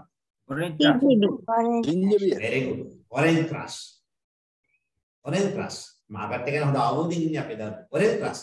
අන්න orange crush හදනවා ඒ කට්ටිය. ඔයා අතරතුර කෙනෙක් එනවා සමහර කෙනෙකුට පුතේ මේ අවශ්‍යයි සමහර දේවල් පානය කරන්න මිශ්‍රණයක් කරගන්න තාම හරි ඕන වෙන්නේ. සෝඩා සෝඩා නේද? එතකොට දැන් මට මේක මේ යුෂානි එහෙම එකපාරම උත්තරයක් දෙනකොට පොඩි සැකේකුත් ඇති වෙනවා. මේ නෑ ඒක තමයි වෙළඳපොළ අවබෝධය සහ දැනුම නේද? එතකොට මේ ඔව් සර් සුපර් මාකට් කියන දන්නවා සැරබීම බොන සැර සැර සැරපානයන් දැන් මේ මාත් එක්ක ඉන්නේ ලොකු ළමයි ඉතින් ඔය බොරු අර එහෙම ආදේශන වචන පාවිච්චි කරන්න ඕනේ නැහැ මත්පැන් පානය කරන කෙනෙකුට සමහර කෙනෙකුට අවශ්‍යයි මේකට පොඩි මිශ්‍රණයක් අන්න හදනවා මොකද්ද සෝඩා නේ ඊළඟ සමහර අයට කෑම රුචිය නැහැ දැන් කනකොට නිකන් මොන හරි පොඩි බීම එකක් බිව්වනම් කෑම එක දාතියක් රස කරගන්න පුළුවන්. beer EGB අන්න. EGB කියලා කියන්නේ beer බලන්න බලන්න මාකට් එක ග්‍රහණය කරන හැටි හරි දැන් ඔය අතරතුර මං වගේ මං වගේ යක් ලෙමනේඩ් රස කැමති බොන්න අයත් එක්ක අන්න ඔයාලට මං කල් තියාම කියනකොට මම ඔය බීමේ බොනවා නම් මම බොන්නේ ලෙමනේඩ් එක පමණයි මතක තියාගන්න ඕනේ අපේ දරු බැලක් මගතොම් දින හම්බුණත් බැලක් අස බීමයක් එහෙම මොනවද කියලා කතා කරන එකන් ඉන්නවට අරන් දුන්නොත් එච්චරයි. වෙන බීම් බොන්නේ නැහැ. හරි එතකොට අන්න එහෙම නිකන් අර ලෙමන් රසයේ කැමති කට්ටියට එනවා මොකද්ද?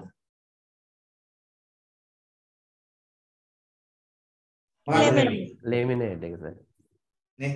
ලෙමනේඩ් කියලා බීමයක් දැන් බලන්නකෝ එතකොට මාකට් එකේ එක එක රුචි සහිතව කට්ටිය එනවා. ඒ හැමෝටම ගැලපෙන බීම් එකක් මෙයාලා මාකට් එකට දෙන්න. ඉතින් මේක තමයි යාලා ගැත්තම තිබුණ අර මාකට් ෂෙයා එක වැඩි කර ගැනීමේදී යාලා ගත්ත හොඳම උපක්‍රමශීලී ක්‍රමය. මේක මැනේජ්මන්ට් එක. මොකද බිස්නස් මැනේජ්මන්ට් කියන එකේදී ව්‍යාපාරයක් අපි කළමනාකරණය කරනකොට ඒ ව්‍යාපාරේ අපි අපේ දරුවෝ දන්නවා මේ ඔබ ඉගෙන ගන්නවා ඉගෙන ගත්තාද කියලා මට සැකයි දන්නේ නැහැ මේ තියෙනවනේ මේ මැනේජ්මන්ට් වල තියෙනවා modern management concept.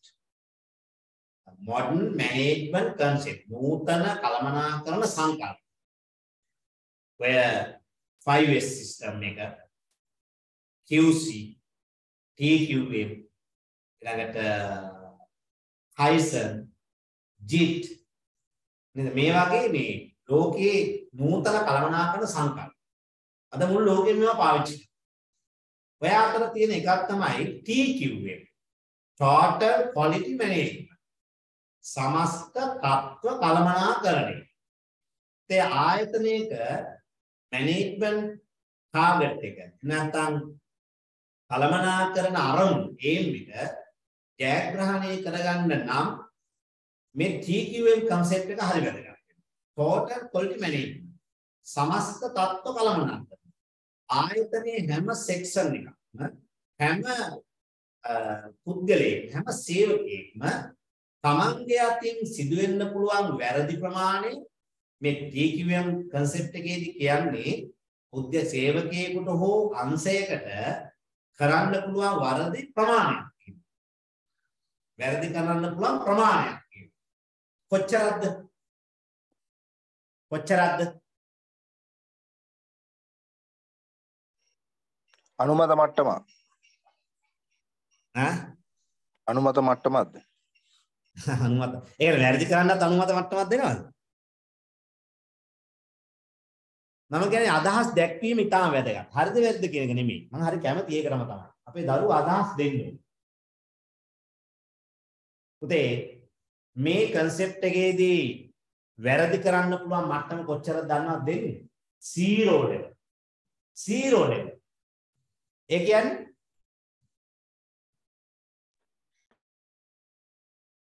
ඉසුරු කියන්නකෝ 0 level වැරදි වෙන්නම බෑ සීරෝ ලෙවල් එකේදී. ඔව්. 0 level කියන්නේ ශූන්‍ය මට්ටම. ශූන්‍ය මට්ටමක් තියෙනවා. හරි? එතකොට ව්‍යාපාර ඒ කියන්නේ ආයතනයේ සේවකයෙක්ගෙන්වත් කිසිම අංශයකින්වත් වරදක් වෙන්න බෑ. ඒ වරදක් කරනවා නම් ඒ ලෙවල් එක තමයි 0 level. බලන්න මේ concept එකේ තියෙන වටිනාකම. හැම කෙනාටම තමන්ගේ රෙස්පොන්සිබිලිටි එක තමන්ගේ වගකීම පිළිබඳ දැඩිභාවයක් මගෙන් මේ මගෙන් මම මේ කරන කාර්යයෙන් වරදින්න පුළුවන් මට සීරුනේ මගේ අංශයෙන් වරදින්න පුළුවන් ලෙවල් එක සීරුනේ ඒ විදිහට අංශ ආයතනයේ තියෙන මාකටිං එක ෆයිනෑන්ෂියල් එක research and development operation information administrative මේ හැම සෙක්ෂන් එකකින්ම සිදුවෙන්න පුළුවන් වැරදි ප්‍රමාණය 0 level. ශූන්‍ය මට්ටම. පුතේ බලන්න එතකොට පොදුවේ ආයතනය අර ඒම් එකට ටාගට් එකට යනවා. ඇයි? මේ කොහෙන්වත් වැරදි වෙන්නේ නැහැ. ඒ වැරදි වෙන ප්‍රමාණය 0 level. අද අමාරුයි. මේ මට්ටමට ගන්න එකපාරම. නම් දෙක තමයි කල්පනා කරන්නේ. ඒක තමයි කල්පනා කරන්නේ. නේද? අපි ඉන්න හැම වෙලාවෙම අපේ දරුවන්ට කියන දේ තමයි මැනේජ්මන්ට් කියන්නේ විධිමත් කරන්නේ. ඔබ ඔබ ඔය මැනේජ්මන්ට් කියන වචන කළමනාකරණය කියන වචනට හැම වෙලාවෙම බද්ධ කරගන්න විධිමත් කරන්නේ. ඒ කියන්නේ කළමනාකරණය කරන්නේ හැම වෙලාවෙම යමක් විධිමත් කරන්නේ. විධිමත් කිරීම තමයි මේ කරන්නේ. වැරදි වෙන්න බෑ. තීරණ එක්ස්කියුස් නෑනේ. දැන් ඔබ ආයතනයක තීරණ ගන්න ඉන්න සේවකයෙක්. තීරණ ගන්න සේවකයෙක් කළමනාකරණය. ඔබ ගත්ත තීරණයක් වරදින. ඔබට කියන්න බෑනේ ඔබගේ ආයතන ප්‍රධානියට කියන්න බෑනේ සෝරි සර් මම ගත්ත මේ තීරණයක තමයි මෙන්න මේ ලක්ෂ 12ක පාඩුව උනේ සමා වෙන්නේ එක. මෙහෙම කියන්න බෑ උදේ. එහෙම කියන්නේ ඒක no excuse. එහෙම බෑ. තමන්ගේ පෞද්ගලික ජීවිත තීරණයක් ගන්නවා වගේ අපිට බිස්නස් එක තීරණයක් ගන්න බෑ. මොකද ඒ තීරණය අසාර්ථක වුණොත් තමන් විතරක් නෙමෙයි බලපාන්නේ. තමන්ගේ රැකියාවට විතරක් නෙමෙයි සමස්ත ආයතනෙ බලපාන. සමාජ ආයතන වැහිරම යනවා. ඒ නිසා මැනේජ්මන්ට් ඉස්සර කළමනාකරන තීරණ කියන්නේ හරි ප්‍රබල තීරණ. ඔබ කළමනාකරණයේ විෂය හොඳට ඉගෙන ගන්න කෙනෙක්. මතක තියාගන්න ව්‍යාපාර කළමනාකරණයේ තුලදී අපි නිවැරදි වෙලාවට නිවැරදි අවස්ථාවේ නිවැරදි තීරණය නොගත්තොත් සමහර විට ඒ ව්‍යාපාරය නැවත අපිට ගොඩ ගන්නත් බැරි වෙන්න පුළුවන්. මේකට ඔබට අවශ්‍යයි හොඳ කළමනාකරණ දැනුම. මේකට ඔබට අවශ්‍යයි හොඳ කළමනාකරණ දැනුම. ඔබ ආයතනයක අයිතිකරුවෙක්. ඒතර ඔබට ඉන්නවා කාර්ය මණ්ඩලයක්.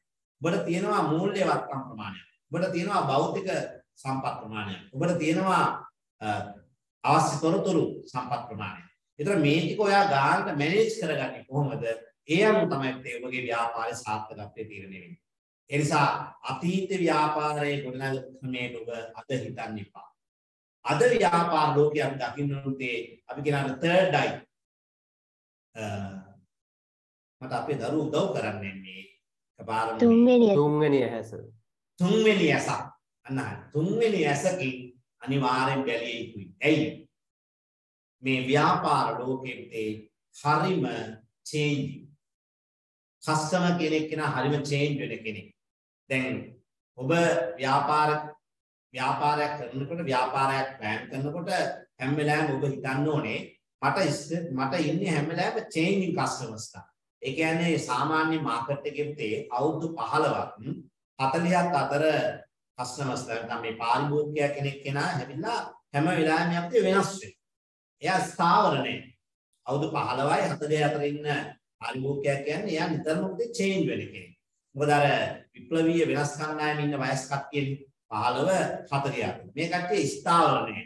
එයා සමහරට අද අල්මන් කිව්දාද ක්‍රීම් සෝඩා එකක් බොනවා හෙට කොකා කෝලා එකක් බොනවා අනිද්දා කිරි පැකට් එකක් බොනවා ඊළඟ දවසේ කොකා යෝගට් එකක් කනවා ඒ වගේ මොනවා හරි අර නිතර අර වෙනස් රුචියක් අපේක්ෂා කරන කණ්ඩායමක් තමයි ඔය ඒජ් එක 15 40ක්. ඒතර මේ අය තමයි අපි දිනා ගන්න ඕනේ. මොකද මාකට් එකේ වැඩිපුර ඉන්නේ මේ කණ්ඩායම. 15 වෙනි පල්ලෙහා ඉන්න එක්කෙනාට මාකට් එකට ඇවිල්ලා එයාට ඕන විදිහට හැසිරෙන්න අවස්ථාවක් හේතුව එයා ඔහු අම්මා හෝ තාත්තගේ නැත්නම් දෙමව්පියන්ගේ දෙමව්පියන්ගේ තීරණය තමයි ඔවුන්ට වෙන්නේ. තීරණය වෙන්නේ. එයාට නෑ නෑ ඔයාට කොහොමද නැත්තේ. ඔයාගේ ශරීරය ඔයාට දැන් ඔයාට කැස්ස වදින කොහොමද නෑ. එයාට කරන්නේ නෑ.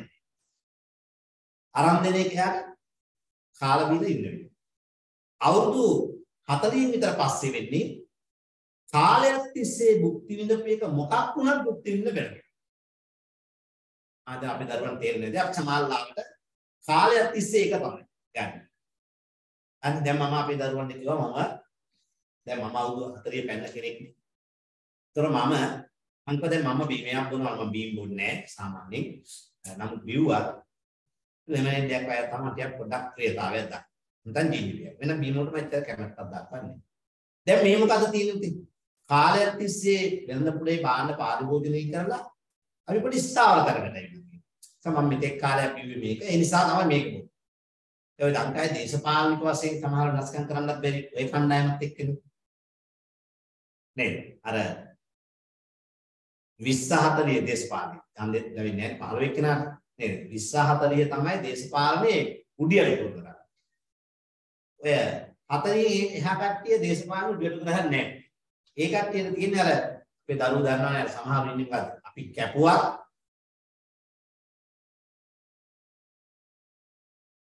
කියන්නේ කැපුවත් කොළ පාට කැපුවත් නිල් පාට කැපුවත් රතු පාට අන්න කැපුවත් කොළ කියයි කැපුවත් රතු කියයි කැපුවත් නිල් කියයි.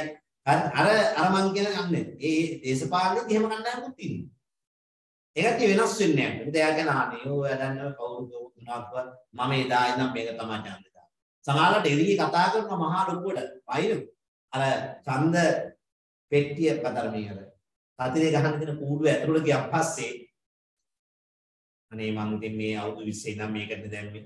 නේ.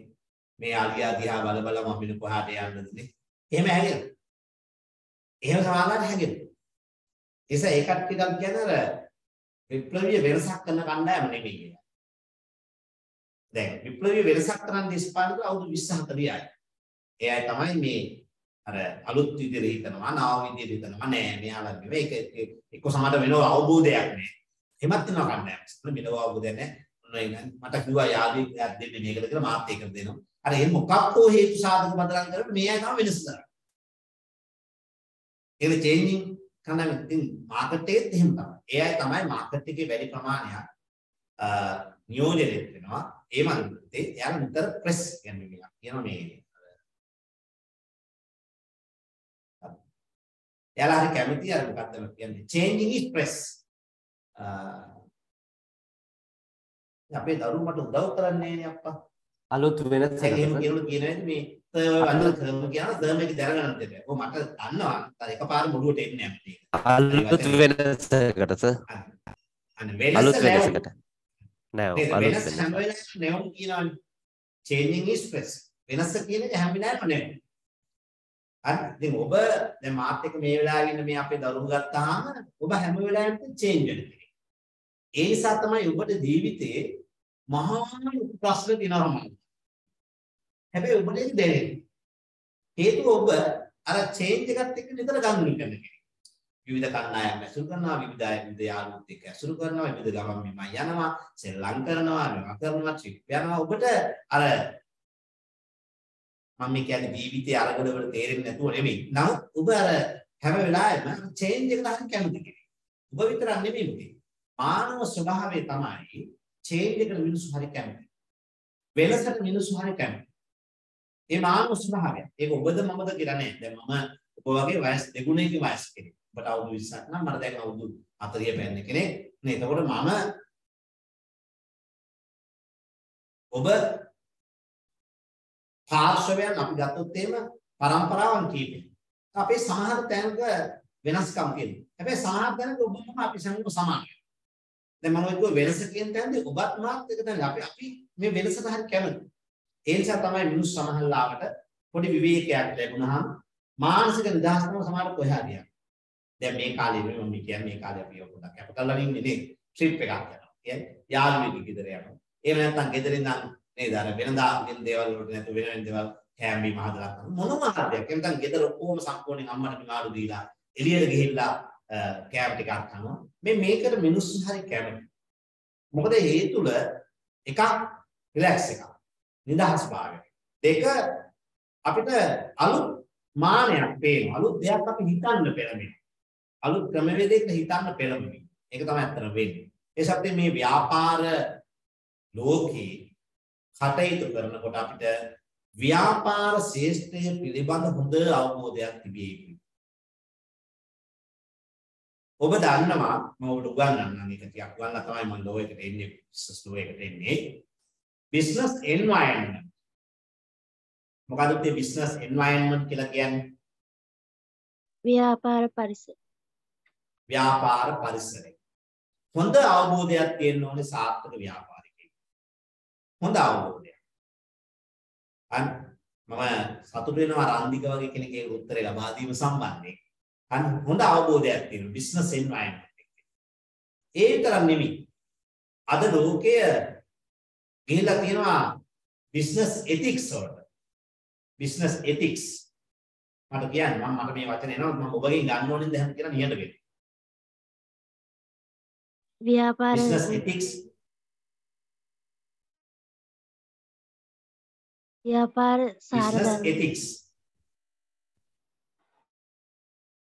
මොනවාද? ව්‍යාපාර සාරධර්ම ව්‍යාපාර ආචාර ධර්ම නේ ව්‍යාපාර සාරධර්ම ව්‍යාපාර ආචාර බිස්නස් එතික්ස් මේ මේ මේ නූතන ව්‍යාපාර ලෝකේ දුවන්නේ මේවායින් තමයි දෙන්නවල තියන්නේ ඊළඟට ඔතෙන් තව එකතු වෙච්ච එකක් තමයි මෑත කාලේදී social responsibility. social responsibility. සමාජ වගකීම් සමාජ වගකීම් එතන business business social responsibility. ව්‍යාපාර සමාජ වගකීම් business ethics ව්‍යාපාර ආචාර ධර්ම හරි එතකොට ඒ අපිට අර මේ නීතියෙන්ම ව්‍යාපාර කරන්න බෑ සමහර වෙලාවට. විය නීතියෙන්ම කරන්න බෑ. සමහරවිට අපිට business ethics පාවිච්චි කරන්න වෙනවා. ව්‍යාපාර ආචාර ධර්ම පාවිච්චි කරන්න. ඊළඟට අද මාකට් එක දුවන්නේ විතේ සම්පූර්ණයෙන්ම මෙන්න මේ කරන concept එක උඩ. මොකද්ද? Customer is the king of market. customer is the king of market. මේ තමයි නූතන මාකටිං කන්සෙප්ට් එක. කියන්නේ මොකක්ද? customer is the king of market.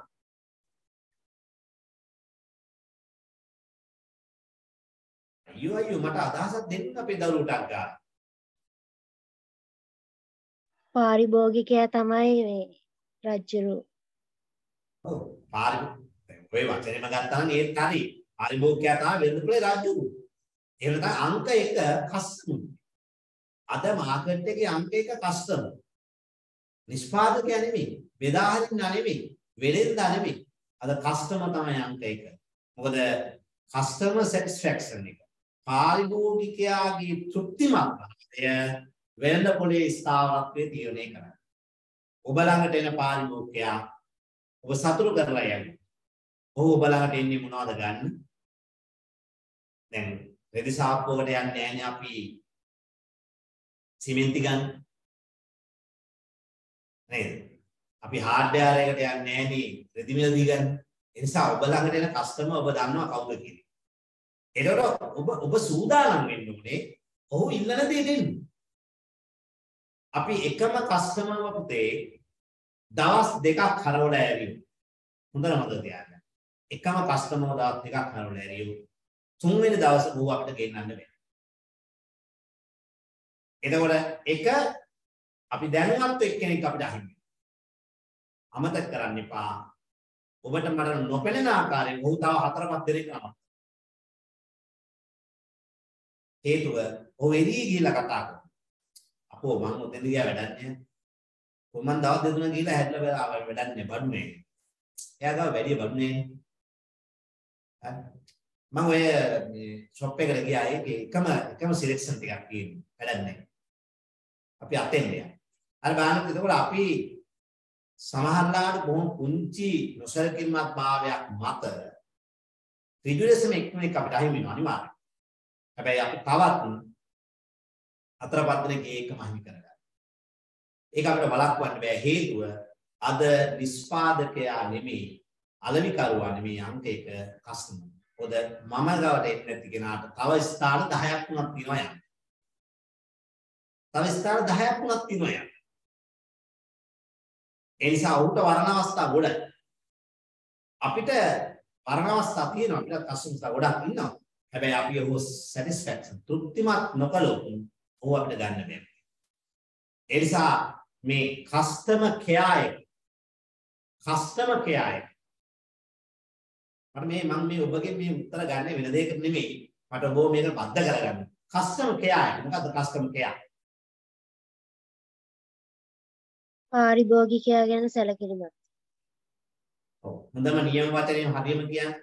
පාරිභෝගික සේවය. පාරිභෝගික සේවය විශිෂ්ට පාරිභෝගික සේවය අපි කියනවා පාරිභෝගික සත්කාරය. ඒ කෑ එකක් කියන සත්කාරය නේ. පාරිභෝගික සත්කාරය. කස්ටමර් කෙයා එක. ඉතින් මතක තියාගන්න මේක මේ ලෝකේ ට්‍රෙන්ඩ් එකක්. දැන් මේ නව නව ව්‍යාපාර ලෝකේ ට්‍රෙන්ඩ් එක තමයි කස්ටමර් කෙයා එක. පාරිභෝගික සංස්කාරය. ඒ කියන්නේ අද අපිට පාරිභෝගිකයාගේ අපේ ව්‍යාපාරයට එන පාරිභෝගිකයාව මොනවාද ඔයාලට හරි. දැන් අපි දුන්න අපේ අපි ඉල්ලා කියන ඉලෙක්ට්‍රික් අයිටම් එකක් විකුණන කෙනෙක්. හරි අපි අපි උදාහරණයක් ගමු. හරි සිංගලකට යනවා. සිංගලකට යනවා අපි ෆ්‍රිජ් එකක් ගන්නවා. එතකොට පෙන්නවා ෆ්‍රිජස් කීපයක් තියෙනවා පෙන්නවා අපි එකක් සිලෙක්ට් කරගත්තා. QR එක අරයි කියද 80000 හරි සල්ලි දුන්නා. ගනුදෙනු මෙතන ඉවර වෙන්නේ නැහැ. හැබැයි අතීතයේ ගනුදෙනු මෙතන ඉවර වුණා. දැන් එහෙම බෑ පුතේ. දැන් අපි මේ කස්ටමර්ට කියන්න බෑ ඔයා ඔබ ගෙනියන්න ක්‍රමයක් නැත්නම් කරේ තියන් හරියන්න කියලා කියන්න බෑ. අපි මෙයාට අපි සල්ලි දීලා අපි එයා අපිට සල්ලි දුන්නා අපි එයාට භාණ්ඩ දුන්නා. අපි කියනවා ඔබ කොහෙද පදින්නේ? කිලෝමීටර් 10ක් ඇතුළත නම් ඔයා ඉන්නේ අපි ෆ්‍රී සර්විස් එකක් දෙනවා ට්‍රාන්ස්පෝර්ට් එක. හරි සතුටු වෙනවා කස්ටමර්. අනේ ලොකු දෙයක් ඒක නම්. හරි. අපිට ගෙදරටම ගෙනහිල්ලා දෙන්න. ඒක නෙමෙයි ගෙදරට ගෙනහිල්ලා මිදුලේ මැද දාලා ඉන්නේ නේ. ඒක අපෙන් අහනවා කොතනද කියන්න ඕන කියලා ගේ ඇතුළට ගෙනහිල්ලා ස්ථානගත කරලා ඊට පස්සේ අපිට ඒ පොඩි උපදේශනයන් ටිකක් දෙනවා. මේක දැම්ම ඔයා කරන්ට් එකට සප්ලයි කරන්න එපා. මේක පොඩ්ඩක් ගෑස් සිලාරේ මේ තියෙන ගෑස් නියවලා තියෙන්න පුළුවන්. මේක ඔයා තව පැය 24ක් යනකම් මෙහෙම තියලා ඊට ප්ලග් එක ගහලා මේක පාවිච්චි කරගන්න. මොනියම් හරි දෙයක් වුණොත් එහෙම මෙන්න අපේ හොට්ලයින් නම්බර් එක තියෙනවා. අපිට කෝල් එකක් දෙන්න. අපි ඔයාට මේකට ෆ්‍රී සර්විස් තුනක් දෙනවා. අන් ෆ්‍රී සර්විස් තුනක් දෙනවා. ඒ වගේ මොනවා හරි දෙයක් පිස් මේක ආහාර මෙහාට නේද? පිස් අපි හිතමු දැන් මේක ගත්තේ සමුදි කියලා පිස් මේක ආහාර මෙහාට ගෙනියන්න එපා හදන්න. අපේ සර්විස් එක තියෙනවා. අපේ මේ එහෙම සර්විස් යුනිට් එකක් තියෙනවා. එයාලට කියලා මේක හදාගන්න. මෙන්න ඒකට තියෙන නම්බර එක. මොනෑම හරි දෙයක් තිබුණොත් ඒ නිසා අපිට ඕන්ලයින් කතා කරන්න. අපේ හොට්ලයින් එක 24 hours වැඩ කරනවා. බලන්න මුති ඇයි ඇයි වෙනෙන්ද මෙච්චර ඇයි නිෂ්පාදකයා මෙච්චර කරන්නේ? මේක තමයි කස්ටමර් කෙයා එක. උදේ මං දුවා එකම පාරිභෝගිකයා දවස් දෙකක් කරවලා ඇරියොත් ඔහු සමග තව කීප දෙනෙක් අපිට අහිමි වෙනවා. හැබැයි මේ කස්ටමර් කෙයා එකෙන් වෙන්නේ අපි නොහිතන කණ්ඩායමක් එනවා සමාජාලාට අපේ වෙනසට. අර අර කස්ටමර් අපිව ප්‍රොමෝට් කරනවා. අම්මෝ මම ගියා එකට සිංගරයකට හරි ෂෝක් කන ගෙනාව. මෙහෙමයි ට්‍රාන්ස්පෝර්ට් එකක් මට හම්බුණා ඇවිල්ලා මේ මේක ෆ්‍රී සර්විස් තුනකුත් තියෙනවා. රෝල්ලා කතා කරන් තියෙනවා. එයාලා අපි හොඳයි. එයාලගේ සර්විස් එක අන්හාර ජෙනුයින් අන් නේ බලන්න මේක තමයි පබ්ලික් ප්‍රසිද්ධිය කියන්නේ අපේ දරු දරන ප්‍රසිද්ධිය කියන එක ඇති වෙන්නේ නොමිලි. කස්ටමර් තමයි අපි වැඩ අපිව ප්‍රොමෝට් කරගෙන යන්නේ.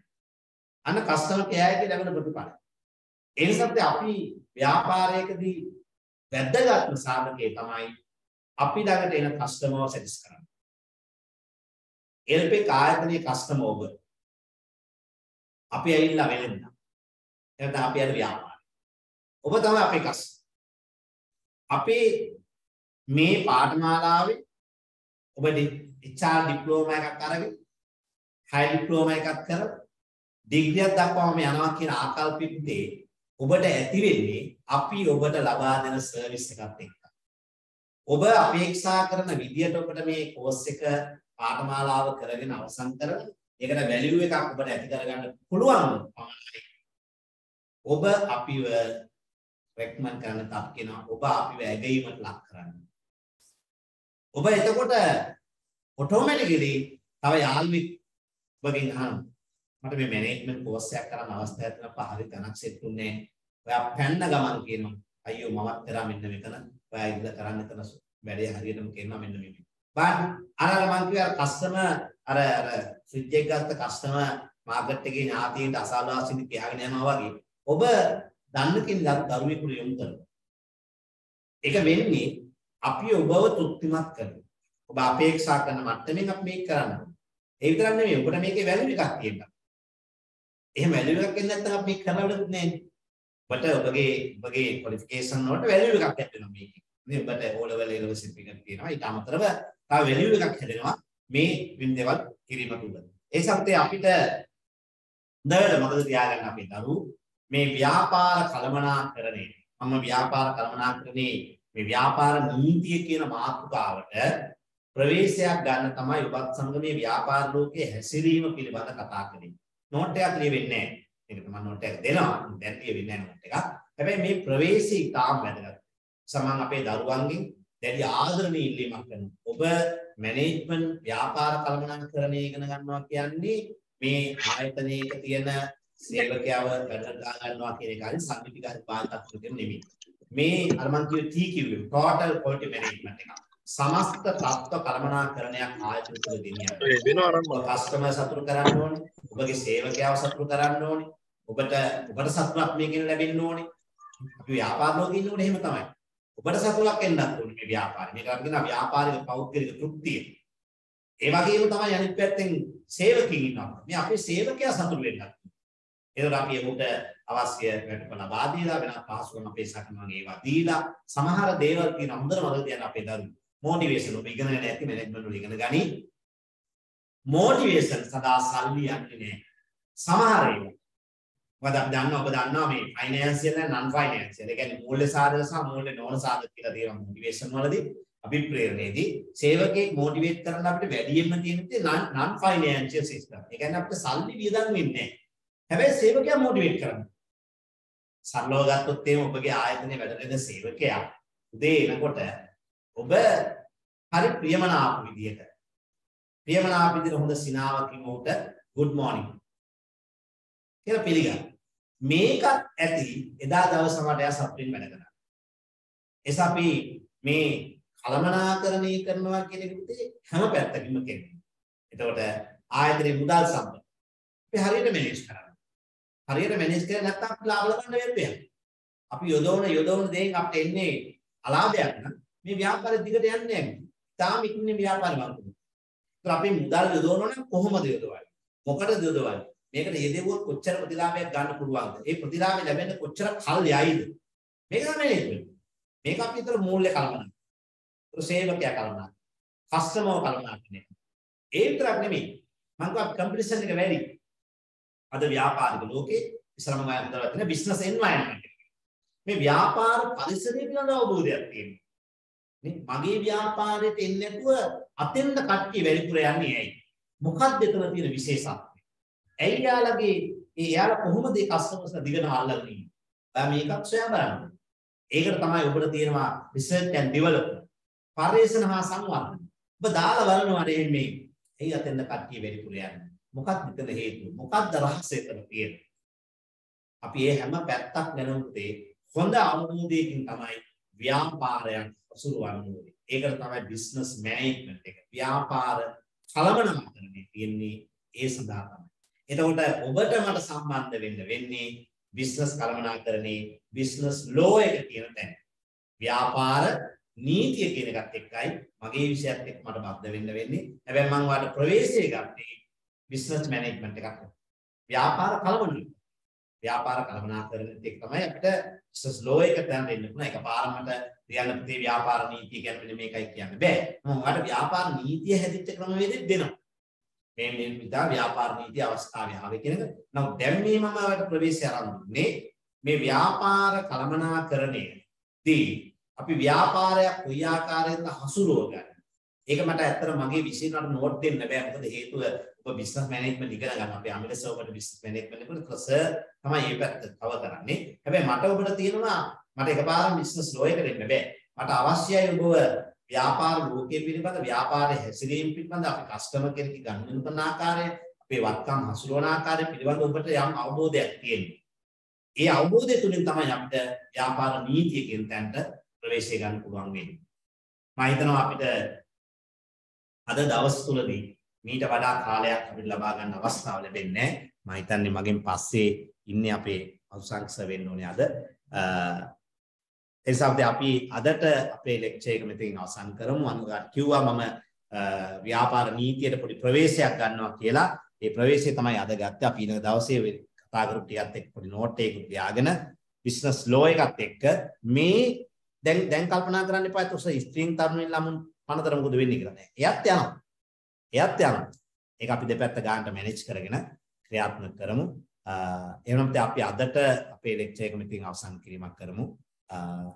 අද ඔබත් සමග මට කතා කරන්න අවස්ථාව ගන්න ලැබුණේ නැහැ. මොකද ටිකක් අතරමඟදී අපිට මුලින්ම සම්බන්ධ වෙන පොඩි ප්‍රමාදයක් සිදු වුණා මේ මෙතන ඇතුවිච්ච පොඩි ආර්මික දෝෂයක් නිසා. එචා මම මේ පැත්තට වැඩි කාලයක් ගත්තේ නෑ. අද අපි ඊළඟ දවසකදී කට්ටියත් එක්ක කතා කරමින් එනම් පාඩමත් එක්ක සම්බන්ධ වෙමු.